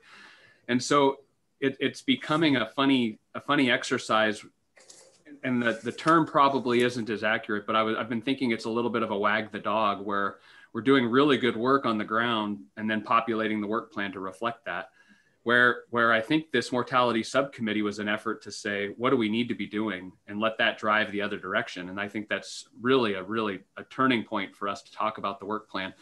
So what I wanted to do just to tee this up a little bit, um, and may, you might need to stop showing your screen, Hilary, but I'm going to show share my screen just so that the subcommittee members are familiar with this and have seen it. And I, I don't intend this to be a a very long conversation about this particularly. I just want you to see what we're talking about.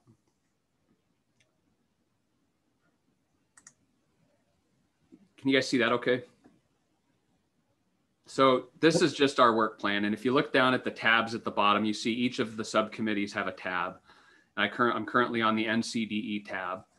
And if I draw this way over to the left margin and the, and the top, you'll see goal one, complete the delisting process and transition to management of a delisted population. So I point this out because one of the challenges for us right now is that I believe we've met the majority of this goal in that we're, we now have um, met all of these accomplishments underneath it. The conservation strategies has been drafted.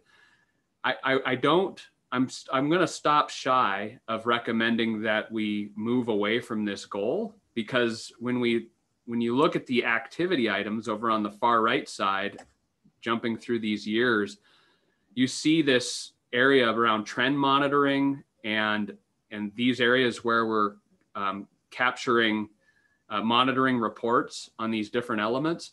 So I don't want to lose track that this still serves a really important role from my perspective of making sure that we're not losing track or not taking our eye off the ball on all the work it took to get to meeting this goal. So I think there's still a responsibility there. Um, and then I'll jump ahead to the next goal, reduce human bear conflicts and public safety concerns. So what I want to point out here is that the mortality subcommittee was an action, an activity that happened later on after these goals had been developed. And so when the mortality subcommittee met, they, through their lumping and splitting exercise, found here's where we're having mortalities with bears. How do we address this? And the good work that they're doing is now overarching or happenstance hitting and missing among these any among these different goals and it's becoming a little complicated to figure out exactly where the priorities from the mortality subcommittee are matching these work plan priorities. And when I go to the third goal, probably scrolled way too far, improve conditions that allow interchange and dispersal. So that you know, there's a lot that falls under that. And when you go to our current priorities, you see these um, consultations with forest plan efforts and these things. So what I'm going to stop sharing this screen. And, and I'm going to pull up another one very similar to the one Hilary, you and I had a um, had a similar approach to this. So just pulling out some of the work we've done in goal one, and I've, all I have identified here um, is 2021, and then the the bullets, the um, underneath of that the um, the goal, not the goals, but the objectives. So underneath this, the mortality subcommittee work prioritized the automobile and site related and shooting related. And what I highlighted is some of the things that we saw on today's and yesterday's agenda. So the and Hilary, you did the exact same approach. So I'm, I'm going to gloss over this pretty quickly. And then you identified in some of your red areas things that that were less identified or places that we still had some holes from our, our goal one. Similar to goal two, reduce human bear conflicts and public safety concerns in newly occupied areas. Um, highlighted here were some of the places where our agenda items hit on some of these things around outreach and awareness of, of bear movements and I&E updates and next steps and prioritization around um, some projects on the Eastern Front related to grain, which was an identif identified priority for 2021. And then under goal three, improve conditions that allow interchange and dispersal, we saw Chris Temple's presentation around that um, conservation work on that landscape level and an update around Sarah Sells' work on potential connectivity routes and updates there. And on and then um, the Post Creek Bridge area updates that we got from Joe Wiegand. So I only highlight these things and I'll stop sharing here to point out that where I think I think we need to take a good look at our our work plan as a document in an effort to try to get it geared back towards the real work that we're doing. And I don't I don't mean that again being very careful not to move away from what we've historically done and our initial goals, but instead kind of energize the NCDE towards our highest priority work. And Hilary, you you and Lori and others have done a great job highlighting through the mortality subcommittee. From my perspective, that's probably the meat of it. I think that's where most of our efforts can be focused around those categories. So I'd I'd ask for some input. Is it is it a an exercise perhaps of taking not just the mortality subcommittee stuff and figuring out how it fits into the work plan, but maybe a drafting effort to look at the work plan with fresh eyes and talk about what are our highest priorities and and maybe letting the work plan start to drive our work instead of just being a place where we're capturing our stuff? I'll pause there. That's a lot to digest and see first if there's questions before we make any recommendations on where we go next so jody had her hand up jody but i i, I have a question randy after jody yeah jim I think Jody, Jody, do you still have a question? I don't. Oh, sorry, yeah, Jody, I, I couldn't see that your hand was up. I was busy chatting. You're good for now, Jody. Okay, um, okay. Jim. Yeah. So things change. You know. So Lori was in. You know, reminding me of how we used to do work plans, and where we're at now. And you're right. We're just kind of populating it because everyone's busy and doing a lot of ongoing work, but in my mind, two big things have changed up here. You know, we have a lot of good ongoing work and issues that aren't going to go away, food storage, you know, I&E, but they've all taken kind of a different twist with this crush of humanity that showed up last year. So I think we need some kind of work plan item or group to focus on front country demands to land management agencies and even private land on on what we talked about before. You know, part of that is you know what Kathy's doing, some of the rules of the game, what we've used to um, you know to hold tight to in these federal forest plans over the years. Uh, but it goes beyond that. It goes to ski hills and runs and heli skiing and every, the, the, all these new folks are showing up that have never lived with wildlife, uh, much less bears. We need to probably talk about that. And Dylan Tabish locally here has been working with the tourism bureaus, the visitors bureau, the chambers of commerce. I mean, they're still continuing to advertise Montana, and we can't. You can't get a rental car up here until October. So it's it's everyone's kind of caught in an old way of doing business, and we're kind of full until October. Yet more people are going to come. So there there are bear issues there. Clearly, I think we need a group to work on to work on that. And then I think uh, Hilary's still on the call.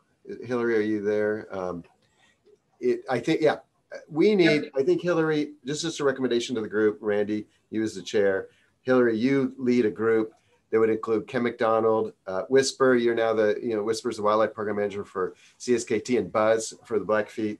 Um, and some of us at FWP, we need a Senate Bill 337 work group right away. The rules yeah. of the game have changed. Um, and this is a really significant change. Um, up here alone, Tim Manley, 16 of the bears he captured on private property, working with private property owners, uh, and moved last year, uh, will not be eligible in the future because they were captured outside the recovery area. And it raises a whole bunch of questions. You know, with FWP, you know, we have Tim Manley, Jamie Jonkel, Chad White, Wesley, and even Kim Annis and Libby, and then and uh, much less elsewhere in the state. But if we are not allowed to move, capture and move bears, and again, we'll have to wait and let the dust settle with the arm rules, then uh, it, it heretofore, it's been a state response to private property. That is now going to, in my mind, potentially transition to a federal response to private property when it comes to moving bears or relocating. Because as the as the bill reads and i could be wrong if the bear if the conflict site is outside of the recovery area, which 16 of the bears that Tim caught last year, which is most of them were, we are now not allowed to move them. Um, that would be, have to be federal government or tribal government or some uh, creative mix. So in my mind, I think as a group, we need to talk about all sorts of options. And, you know, and if you're just looking at bear conservation and blurring the lines of agencies, do we have staff that are at a point in their careers that have an interest in working for you now, where they could that work could continue to happen, and we do. Uh, do we have? Uh, does Whisper? You know, does tribal programs? Does Buzz have staff? What What are the concerns there on moving bears? And Hilary, you have the authority uh, as the recovery coordinator and uh, and legally on where we let these bears go. Our ability to do that west of the divide, in particular, has just been removed, as far as I can tell reading the bill. I could be wrong, but I think we need a group. It's I think it's our number one issue right now because human safety and our response to private property owners, we drop everything and respond when there's a grizzly bear on private property here west of the divide. And this is an ag property. It's all residential. And so I think there's an expectation from the communities for us to do that. And that, that has now changed. So Hilary, I think you should, my recommendation to you and Randy is to set up a group right away. Ken McDonald, what are what are the rules the service wants the state to live by given that SB 337 passed? And that's a big deal. And then I think we could go to some of the, I mean, a lot of the other issues are ongoing, but I just would throw that out there, Randy and Hilary. It's a the most significant change I've seen in my entire career in terms of our ability to rest- to keep property owners safe and respond uh, in part. And, and that regulatory responsibility is shifted to the federal level. So instead of we're the state here to help you, now it's we're the federal government here to help you. So uh, we need to we need to probably set up a group. Yeah, you're you're right on, Jim. I've been thinking a lot about it, but yeah, I, I will certainly be tapping people soon. Uh, Jody.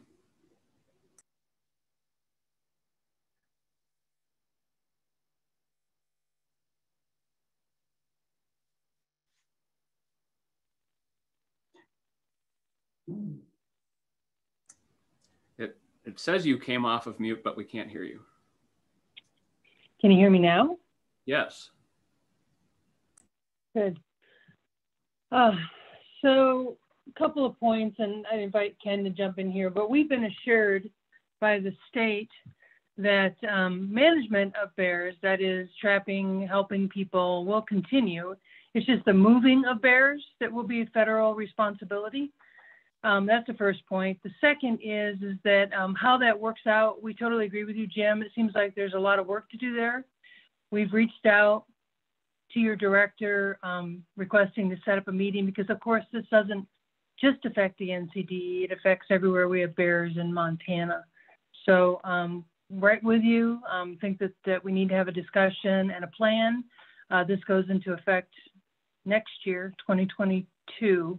So we do have a little bit of time, but not a whole lot of time. And just to abuse anyone of any notion, um, Fish and Wildlife Service did not just get a bunch of money so we can hire everybody and have you work for us. We would love that. That would be awesome. But having that as even a potential um, solution is probably not in the works. So. Great. Thanks, Jody. Ken? Thanks, Randy. Um, so I agree with Jim on that part, but it also highlights, um, go back to the work plan. The, the, very first goal in that work plan was, you know, work towards delisting of the bears. And, and you're right, all of the, the work that's being done um, has got us to recovery and is helping sustain recovery. Um, so we're there. The, the issues, the delisting piece. And, you know, as part of this legislative discussion, um, you know, everybody points to Yellowstone that it, that it's been delisted twice and the courts have shot it down. And, and I made the point, there's never been an attempt, there's never been a proposed delisting rule for the NCDE. And, and I would assert that the NCDE would be easier because there's not three states and three state politics going on. Um, so I, I would, I guess I would advocate that that still be a, a priority for the subcommittee, you know, and it may be that um, from a work plan perspective, we've done all the things that, that have been requested. We have a conservation strategy. We've got the monitoring in place. Um, we've got, we're increasing the conflict response, things like that. Um, and it's, it's, it's like, where do we go now? And so I would, I would advocate that this committee, you know, at least make a recommendation to the, to the IGBC that that you know we request the Fish and Wildlife Service, the Department of Interior to to at least move on delisting. Jody mentioned there were some some issues related to the court case, which I'm assuming is the Yellowstone court case um, that that needed to be resolved. And and so if there's if there are those kinds of things, it would be good to know you know what what they are specific to the NCDE because you know things like the recalibration issue, which is one of the the real sticklers with the Yellowstone, I don't think is an issue with the NCDE with the way we've come up with the mortality thresholds and and things like that. So that that'd be my first piece. The other one is we do have that that conservation strategy. I recognize that the conservation strategy is intended to be a, a post delisting management plan, but but pretty much it's it's the things we're doing now and things we're committed to doing. And and so maybe the you know the foundation for a work plan moving on is checking back in with what have we committed to in that conservation strategy and and are we doing it and how are we doing it? So that that'd be my input to the work plan discussion. Thanks ken. Yep. Uh, bill yeah, thanks. Um, you know, Ken, I totally agree with you. From my perspective, it seems like um, I do think, as Randy pointed out, we we've met the items um, in our work plan that would be um, required to move forward with delisting. So I do, I would support your idea that this subcommittee move forward to the IGBC with that um, to, to start down that path. Um, I, I also support your idea that we should begin to look at amending our work plan to reflect the agreements we've agreed to in the conservation strategy. Um, because I think those things, those two things tie together. I know that our existing work plan and much of the conservation strategy um, align anyway. Right. But um, we've done a lot of work. We've got a bunch of agreement there on a conservation strategy. And we're actually, that the work plan is really a subset in my mind of that conservation strategy. So I think um, totally agree with your perspective and, and I would uh, support uh, your proposal. Okay, thanks. Thanks, Bill. Bert. Yeah, I'll echo what Bill said. I support as well. And I don't want to repeat what Bill said, but uh, or Ken and, and agree with everything. I think the other aspect that I'd be curious about that would help us out if it doesn't get delisted is is um, maybe have the mortality group focus in on again it, it feels to me like we're trying to create all roads equal and it feels to me like the mortality of, of the bears is often caused from the highways and it seems like the science that we used for that we're we're taking and putting it as on the same type of science as as a forest road where you're traveling 15 to 30 miles an hour versus 65 so just something to think through from my perspective. Again still fairly new into the ncde but um, i would be interested in, in breaking out the different roads versus lumping them all together uh, in, in terms of the fitness side of the house um, but again fully support and would encourage the subcommittee to to propose delisting um, as well. Thank you.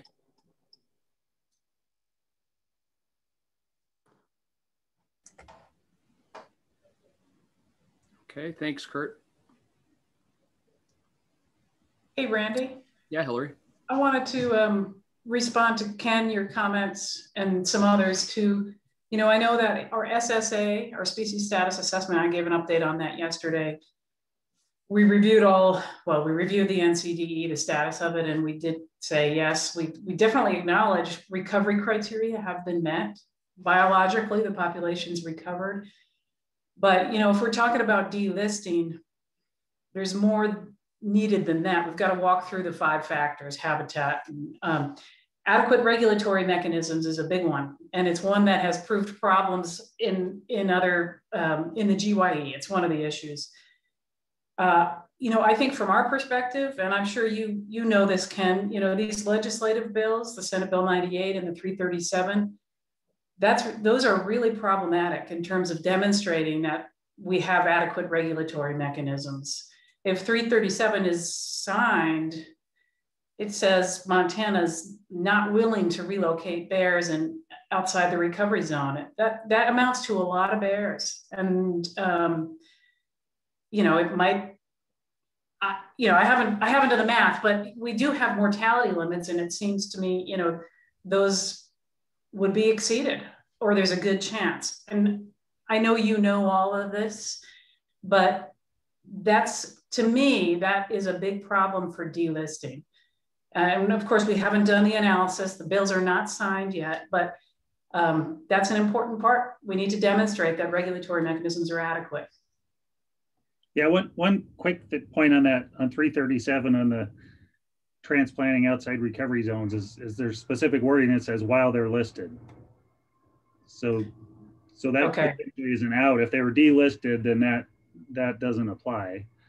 Um, at least statutorily. Okay. We obviously still have commission issues and things like that. But no, and I hear you. Um, yeah. And it's sort of a chicken and egg issue because the you know that was one of the arguments brought up during the legislative session, and the response was is there's no confidence that the delisting is ever going to happen. You know, it's not even being proposed, and so therefore this is our response. And so so now we have this response that you know we come back and say, well, now we can't propose delisting because we don't have regulatory mechanisms. And um, I, I, think I think at least um, from a, a, you know an optics point of view is if we think that they're recovered, we think the DPS is still a legitimate way to go. That that proposing the proposing delisting and and and really showing we've met all the, recri- recri- the recovery criteria um, will help us a bunch. Yeah, and you know, I think I've mentioned it yesterday too. I, I mean, thanks for that, Ken. It, it, you know, we haven't had a chance to brief the administration on all things Grizzly yet. They're still figuring out what direction they want to do, and so um, right. we don't know that yet.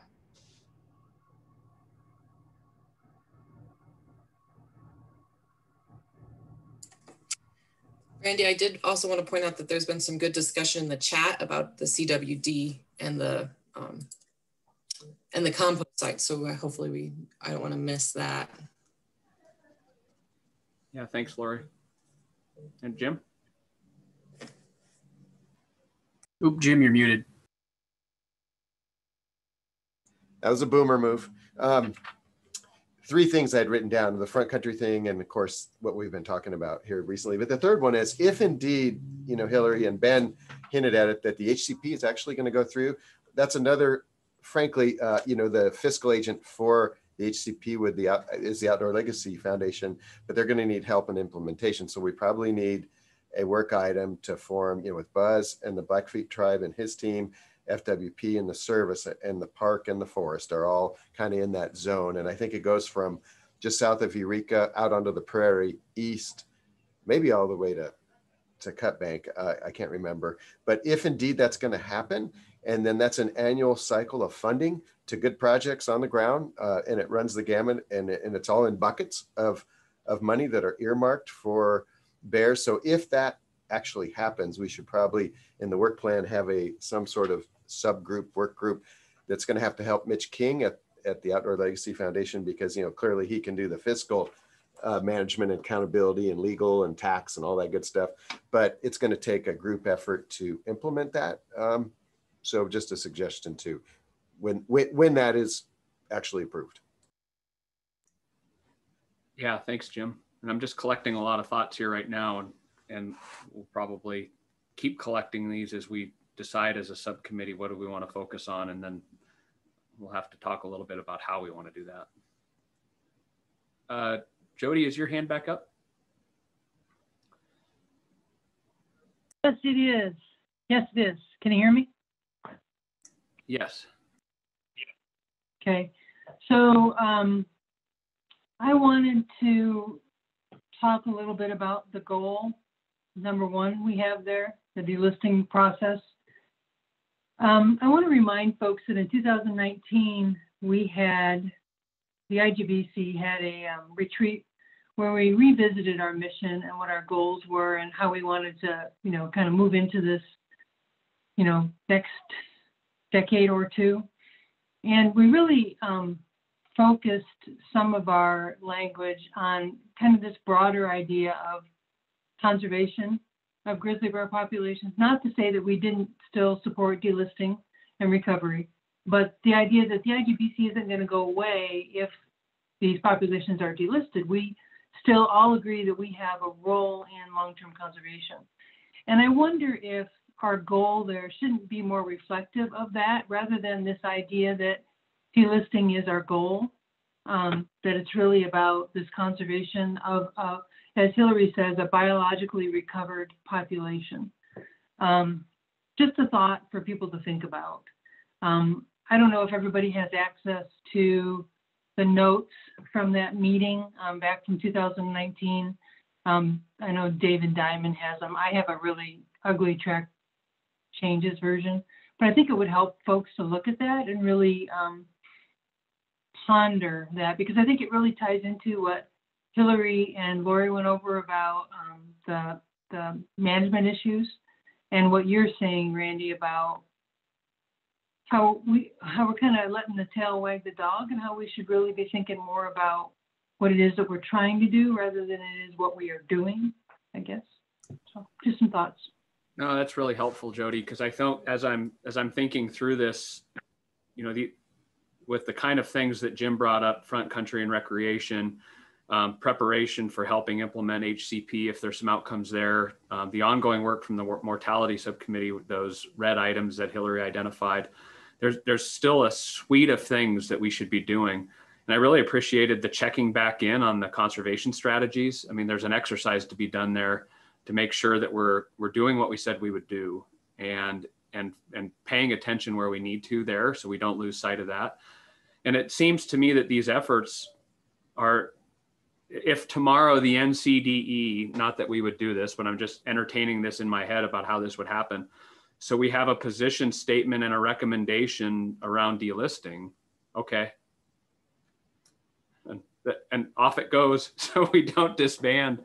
And I'm not, I don't mean to undermine that, that sentiment, but I think as I think about the role of this group and we're coordinated across all these jurisdiction and agencies and responsibilities, we've been really effective at identifying priority things to be working on.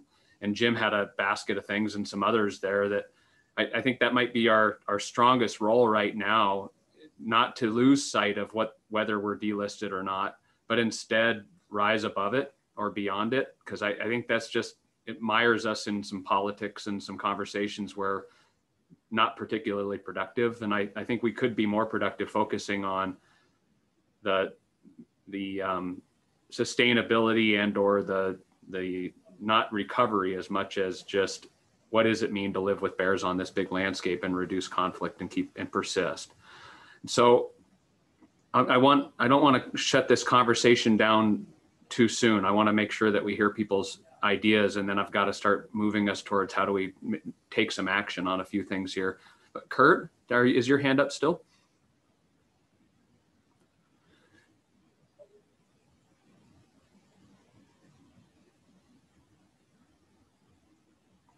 and maybe it's not. Um, so Kurt, I see your hand up, but I'll I'll keep going here. Any other thoughts or inputs from folks on on largely around our work effort and next steps? I've got a, a suite of things here to discuss yet, but I don't want to miss any. Sorry, Randy, my hand was up, but it was from the previous one. Okay, thanks, Kurt. Hey Randy, is there um anything associated? I can't, I can't, I just can't remember with the US two in the work plan in terms of connectivity. Uh,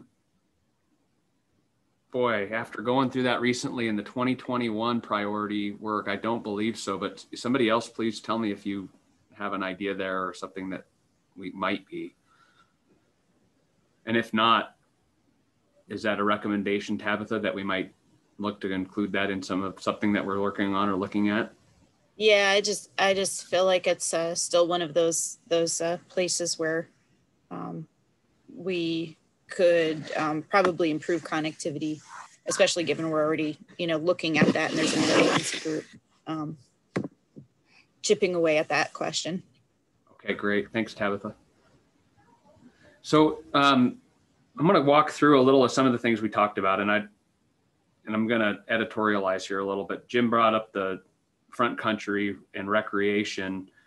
Um, it would be really easy to say we have the mortality subcommittee working on front country stuff, but I think what Jim identified was um, pointing at the recreation at a scale and pace that we've not seen before. Um, and it's not just in Kalispell, it's other places.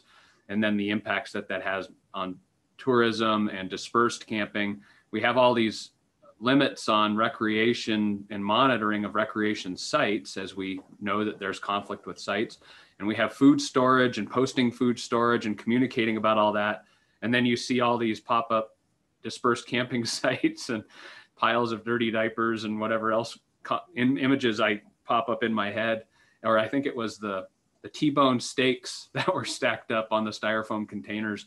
And I just, I, I know that we're going to be dealing with that again this summer. And but uh, maybe it's a conversation around this larger front country issue at, with a with an asterisk around recreation.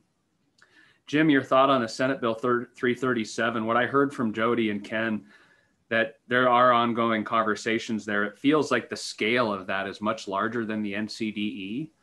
And I know we need to coordinate there. Um, it seems like we might punt on that one just momentarily to see if that's not going to get addressed at a larger scale rather than us trying to pick that up. Does that and, make sense? And, and, also see if it gets signed and, you know, we assuming it does. Yeah. But if it does, it does, it, it really uh, changes the rules of engagement for private property owners, uh, particularly west of the divide, since we're not the ranching uh, focus here, it's smaller residential pieces. So um, I think that, that involves a big I&E effort too on, on who can do what, what agency, tribe, state, federal, just so the public, it's fair to the public to know, you know, who to call and what we can do. And, and if it's a joint effort, you know, we catch the bear and Hilary moves it or how, whatever the rules end up being after the arm rules. Yeah.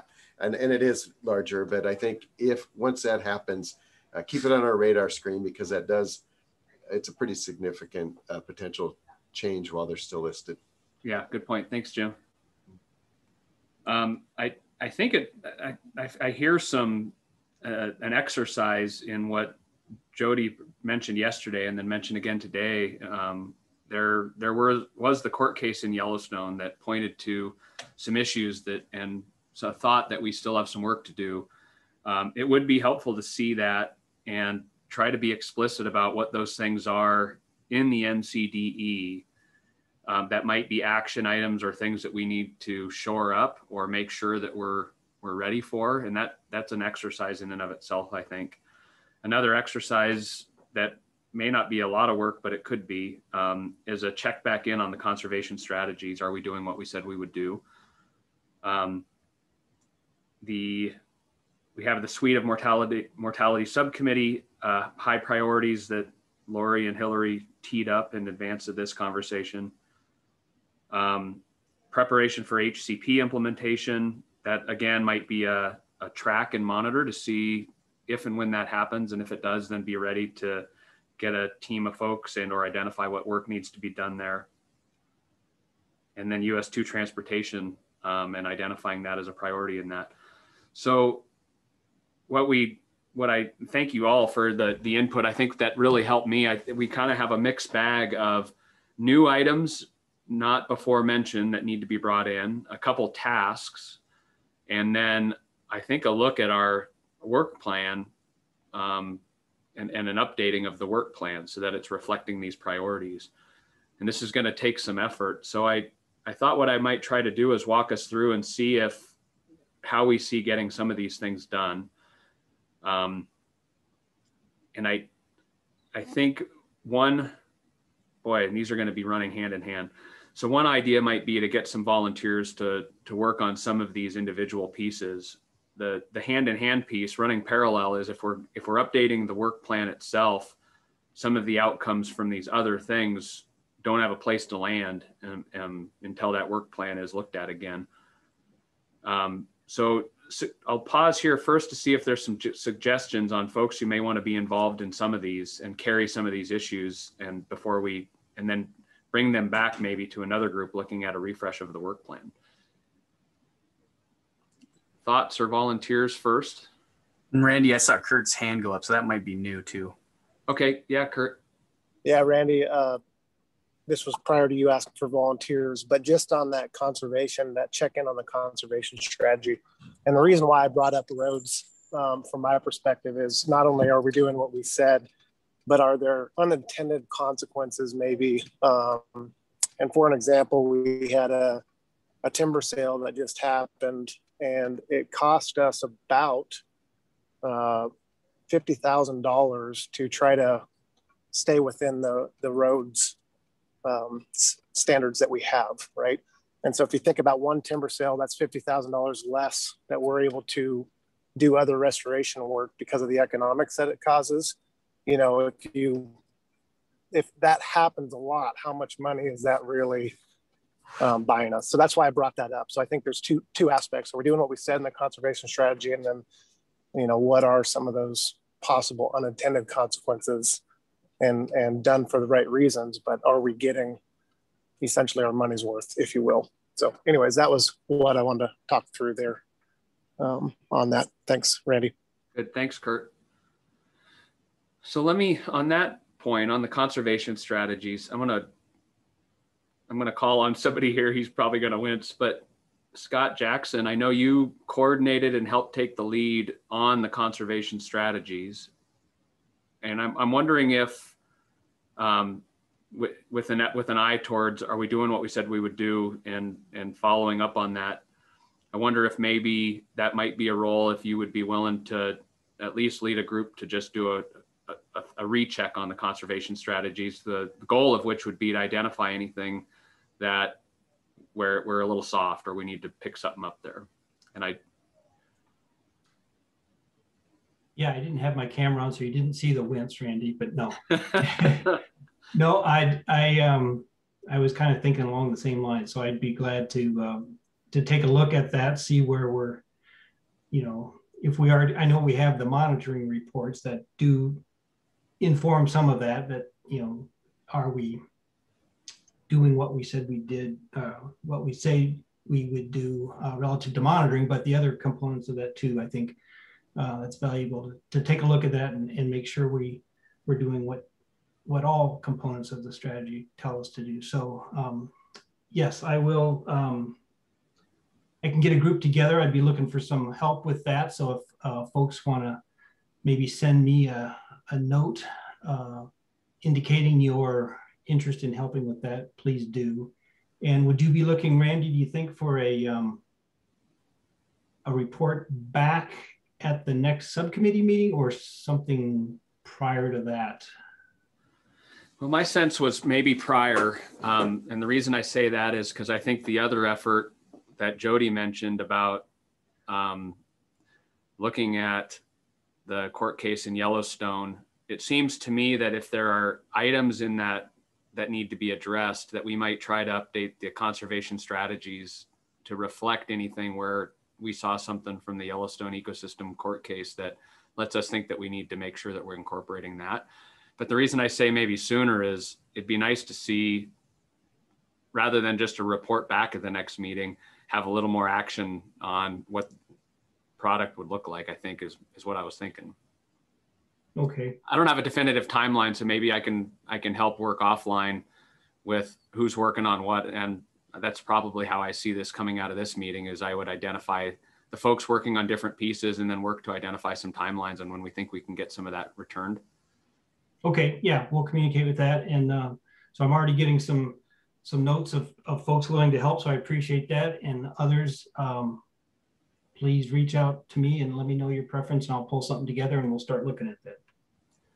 So the, the second item that I mentioned, and thanks, Scott. Um, The from Hilary or Jody, what what do you think it would take from your perspective to to do a little crosswalk between that Yellowstone ecosystem and and what where we are with the NCDE? Is that something relatively quick? Is that something that comes to mind quickly? And then can we incorporate that into the work that Scott's doing? Yeah, sure. I, I will definitely look at it. There were three main issues in the court opinion, and, and there's one specifically that might have implications for NCDE. So I can look into that more. Okay, thanks, Hilary. And then I think um, there's another one, and this goes back to Hilary and and Lori. The you guys identified some kind of next step priority items and and wanting to bring those back into the work plan.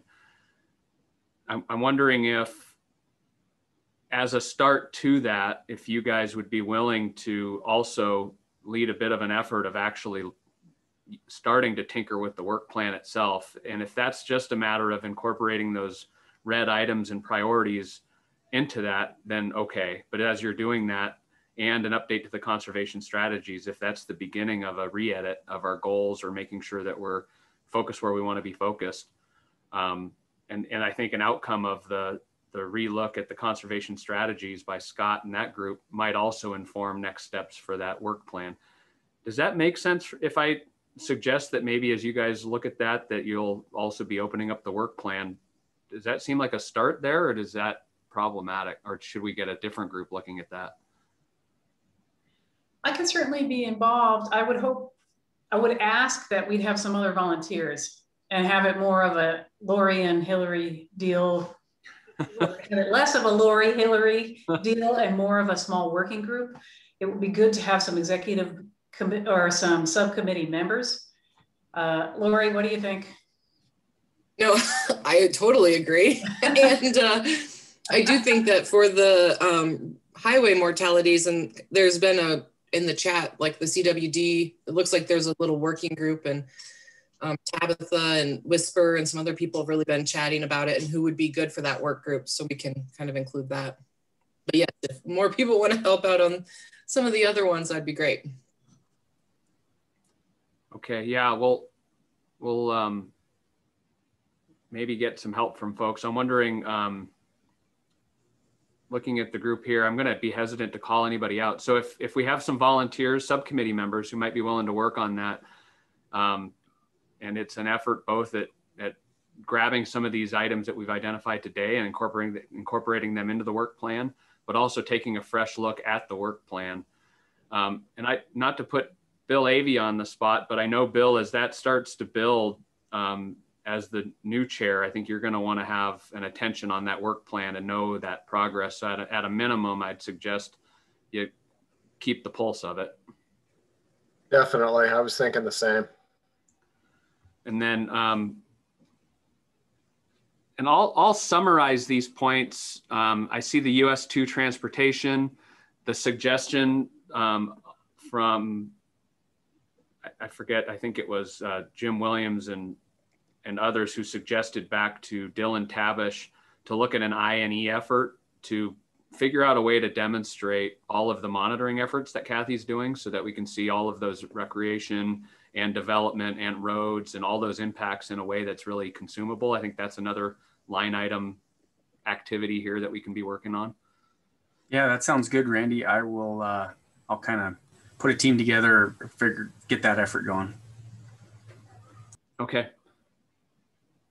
And then so and then a couple of these might just be placeholders, outcome of the um, HCP and the others. So with that in mind, I'm not going to pin everybody down too much for obviously we're not going to accomplish any of this stuff today. Um, so I'll I'll draft a note for um, some assignments and some next steps and incorporate that and try to get that out to the subcommittee members. Um, looking for some volunteers to help probably on a, a, fresh look at that work plan to make sure that that's addressed, that's helping drive our activities rather than just being a collecting point of what we're doing. So, um, and thank you guys very much for being willing to have this conversation and walking through it. It's a, it's a, it's a dry subject, but at the meat of it is all the really important work we're doing, which is a lot more exciting. so I wanted to um, transition before we get to a public comment period. Um, I just want to note in the agenda item, it's a transition point for us to hand over the chair responsibilities to our vice chair, Bill Avey. And I was chuckling to myself as I was readying to do this. I'll show you what I found on my desk the other day, which, which was the, these things, which are place cards for back in a time we used to meet, and I know a lot of you young pups don't remember this, but we used to meet and actually be in the same place in the same room and places at the same time. So, Bill, I have a package that I'll put together and send your way. It's it's a whole bunch of these kinds of things, uh, file folders and all that kind of stuff. But the other thing I came across was this gavel, which I thought was super cool when I got this. But unfortunately, I don't think maybe but one meeting I had a chance to actually strike this thing and make some noise with it. So I'll be sending that over to you as well. You can hit it twice for me the next time we have a meeting in person and you're able to pull people together. Um, but with that, Bill, I want to hand the meeting over to you and um, very much appreciate the opportunity to have served as a chair and to help this group make any progress that we have made. Certainly didn't do anything other than organize you. It's an amazing group of people and energy here and uh, very, very glad to have been able to serve in this capacity for this short period of time. And I'm not going anywhere. I'll still be super active and involved. So thank you all, and, and thanks, Bill. Hey, Randy, thank you. And I think I speak for everybody else on the committee with your leadership, the subcommittee, your leadership has been outstanding. And, and um, yeah, we do have a lot of pretty exceptional, passionate folks that are capable of great getting great amount of work done for a great cause. That being said, um, no work gets done without organization. So um, you've been an outstanding leader and big shoes, big boots for me to fill. Um, so thank you very much. Um, I think our first order of business um, is really selecting a vice chair. And um, Jody and I chatted a little bit this morning offline prior to the meeting, and I, I would propose for us to consider, not to implement today, but for us to consider um, as we think some rotations down the road. The chair is always rotated between a federal and state um, uh, position. And I would offer that I think um, my personal opinion is that I would like to see our committee consider our First Nations uh, members as chairs as well in that rotation, and that uh, perhaps um, down the road at a meeting, um, while we're not ready to do it today, that we um, make whatever necessary change to our bylaws to show that they, the chair would rotate federal, state, First Nations. Um, so I just wanted to throw that on the radar screen um, today um, and ask folks to be thinking about that down the road. Um, that being said, um, I think given where we are at today, um, I am looking for nominations uh, from state agencies, state partners here for nominations for the vice chair behind me. So I'd open up the floor and if you could raise your hand on the, um, or turn your camera on, I'll try to work through that.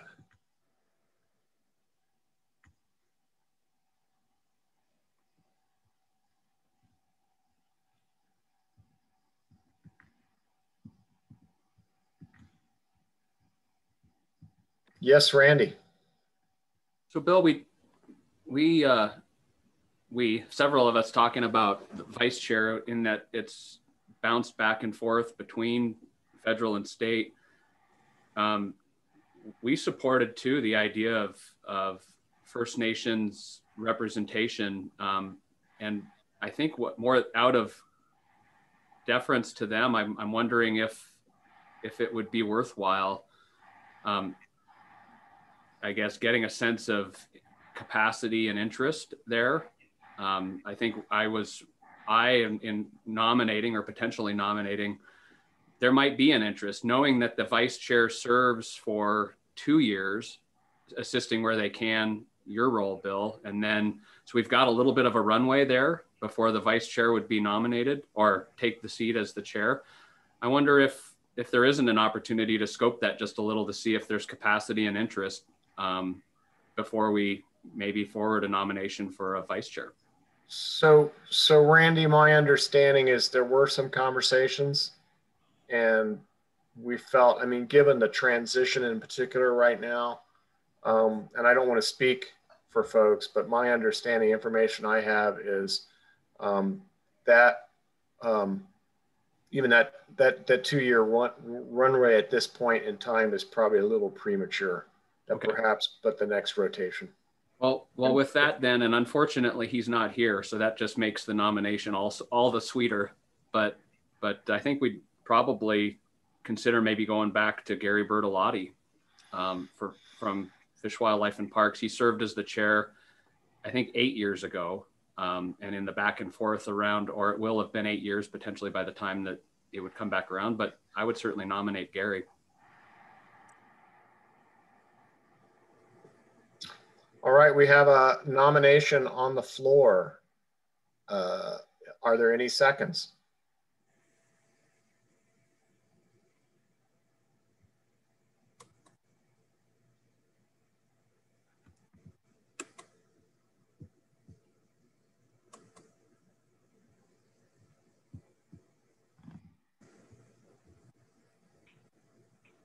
Yes, Jody. Yeah, I was just wondering um, if there were any other state agencies that were interested in throwing their name in. You know, we typically, you know, we, we have kind of a pattern, and I'm wondering it'd be nice to embrace some other entities like perhaps DNRC or even DOT um, now that they're part of the panel. Um, just some just some thoughts about that. Yeah, thanks, Jody. And I can speak to that a little bit. I did reach out to DNRC. Um, and they'll and they were interested, but some potential transitions there, and and didn't know if they'd be really ready to step somebody up into that role. And then similarly, had a really nice conversation um, with Department of Transportation and seeing if maybe they might be um, and talk to Joe about is there a potential role there and um, maybe maybe in the future for sure, um, but wasn't necessarily jumping to jump in right quite yet. Yeah, and I'd, I'd speak to that, Randy, and I really really appreciated that conversation. Um, right now, you know, my my workload would be a little bit prohibitive on it, but I really appreciated that that thought, and and I think um, transportation would would definitely uh, consider it. You know, when when I or somebody else in the department might be able to handle it. So, I, I wanted to say thanks for that again.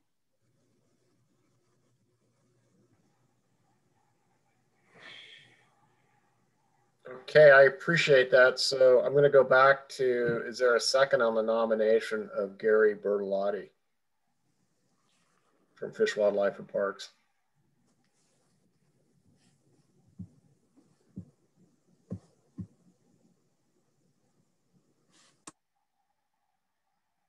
Yes, Tabitha? Uh, I'll second that. Okay, thank you very much. Any additional discussion?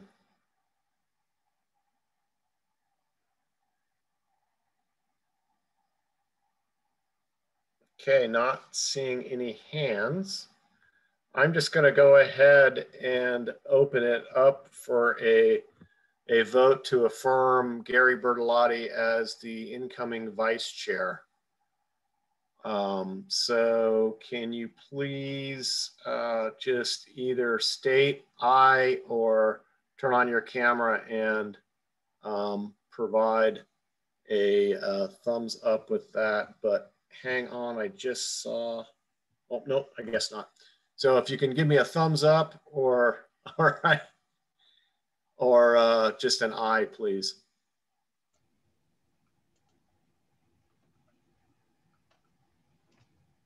Aye. All right. I think I've seen enough. It looks like Gary Bertellotti will be my vice chair. Um, so, Randy, do you want to convey that to Gary, or would you like me to? Um, I can I can send him a note. Okay. Thank you very much. And then I think our last order of business to um, at the meeting is to open it up for public comment. So I would ask folks to please raise their hands and we'll call on you. If we can do that or throw something in the chat. And Dylan, can you help me with this, please? Yep, yep. Uh, very, you stated it perfectly, and it looks like we do have uh, Keith has raised his hand. So Keith, I'm gonna uh, unmute you, or I guess allow you to talk. Unmute yourself. Please state your name, where you're from, and organizations you're affiliated with. Army. Yeah, this is Keith Hammer. I'm with Swan View Coalition up here uh, near Bigfork in Kalispell, Montana. And uh, I'll just read the question that I posted. Is Kathy Ake still around? This question is for her.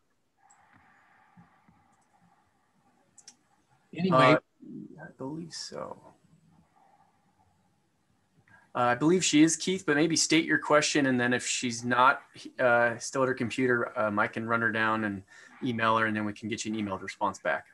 Okay, great, thank you. So what I'm asking of Kathy is how the the baseline was established for developed recreation sites for the monitoring under the conservation strategy. This came up on the Flathead, um, as Jim Williams alluded to a while ago there was a proposal by the Flathead to build four rental cabins at the semi-primitive Bunker Park campground on the Flathead National Forest, right up against the Bob Marshall boundary uh, upstream from Spotted Bear. And in that proposal, the Flathead, the, the district ranger, um, claimed that the campground itself was within the baseline, but that the baseline had not set a capacity for the campground. And then also claimed that to build four cabins there and to drill a freshwater well, none of which exist at that site, that that would not increase the capacity of the campground and hence would not violate the conservation strategy nor count against the once in 10 years that you're allowed to increase capacity in a bear subunit. So that brings us back where, you know, a number of commenters, including some that helped draft the conservation strategy, um, claim that, well, that no, this does violate the conservation strategy. So back to the question is how was the baseline established and did campgrounds have capacity established in the baseline? Um, okay, so the baseline was established. I basically went around to every agency. Um, sorry, I had a mask on. Um, I went around to every agency, uh, sat down with the folks, um, went through a listing with them. Um, Kathy, you're a little hard to hear. I don't know if you can speak closer to your microphone. Actually, I am fairly close to my microphone. I'm having computer issues today, I think. Um, I went to every um, agency unit and went through to try to develop a list with them at that time to get capacities of the various um, sites that needed a capacity as well as what just a whole listing of all of their sites. There were a few campgrounds, um, and Flathead was not alone on that one, that I could not get the agency to give me a capacity on because they didn't really set one for that particular area. Um, it, they called it unlimited. Um, but that's the best answer I can give you on the baseline. It was done originally, um, and I went to every single unit, um, and we sat down and came up with the list. And that is what they've been basing it off of since then. As for the rest of it, um, I think that's going to have to go through um, our planning and um, uh, planning staff officer, Michelle Dragoo, as well as not Michelle Dragoo, Will Young, as well as Michelle Dragoo on the uh, FOIA site. So that's the best I can give you for an answer. Please. Okay, thank you, Kathy. Um, so, Kathy, would you be so kind as to um, perhaps just send an email with that explanation back to Keith because the audio was very, very broken and I'm not sure he heard it. I could not hear it all. Um, I could hear most of it, but I couldn't hear it all. And I think perhaps um, if you'd be so kind to do that or send it to me and I'll, I can forward it to Keith if you don't have his email. Um, okay. I'll follow up. Thank you very much, Kathy. Thank you, Bill. Any other uh, comments in the public, please uh, raise your hand and I will um, unmute you.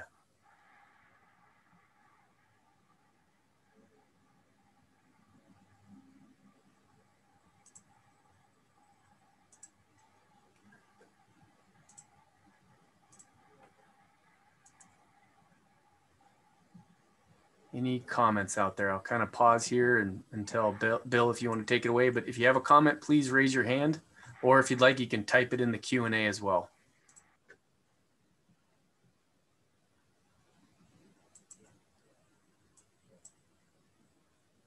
Give folks another few minutes.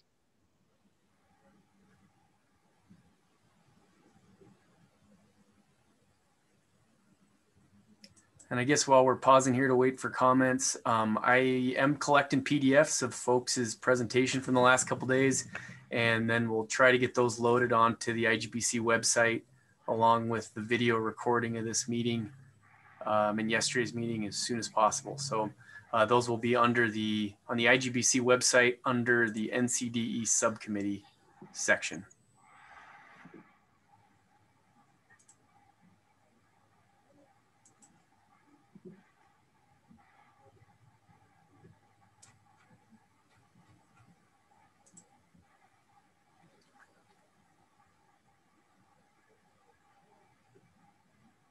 Well, I'm not seeing any additional comments. Are you, Dylan? Nope. Okay. so we'll go ahead and move to close the meeting. Um, Randy, I have to tell you, you might want to keep the gavel, but perhaps you could send me Dylan. Um, it would be much appreciated. Thank you very much, Dylan. I look forward to continuing to work with you. Um, with that, folks, this will close our meeting. Um, we will see where we're at next fall uh, related to an in-person meeting, a hybrid meeting, or a Zoom meeting. Um, I think we'll just have to see how things progress here in the country and the state. Um, but with that, um, I look forward to being the chair and uh, have a lot to learn, uh, but I couldn't imagine doing it without a stronger group of folks around. So thank you all very much. And I think that concludes the meeting. Great. Thanks, Bill. Thanks, Bill. Thanks, Randy.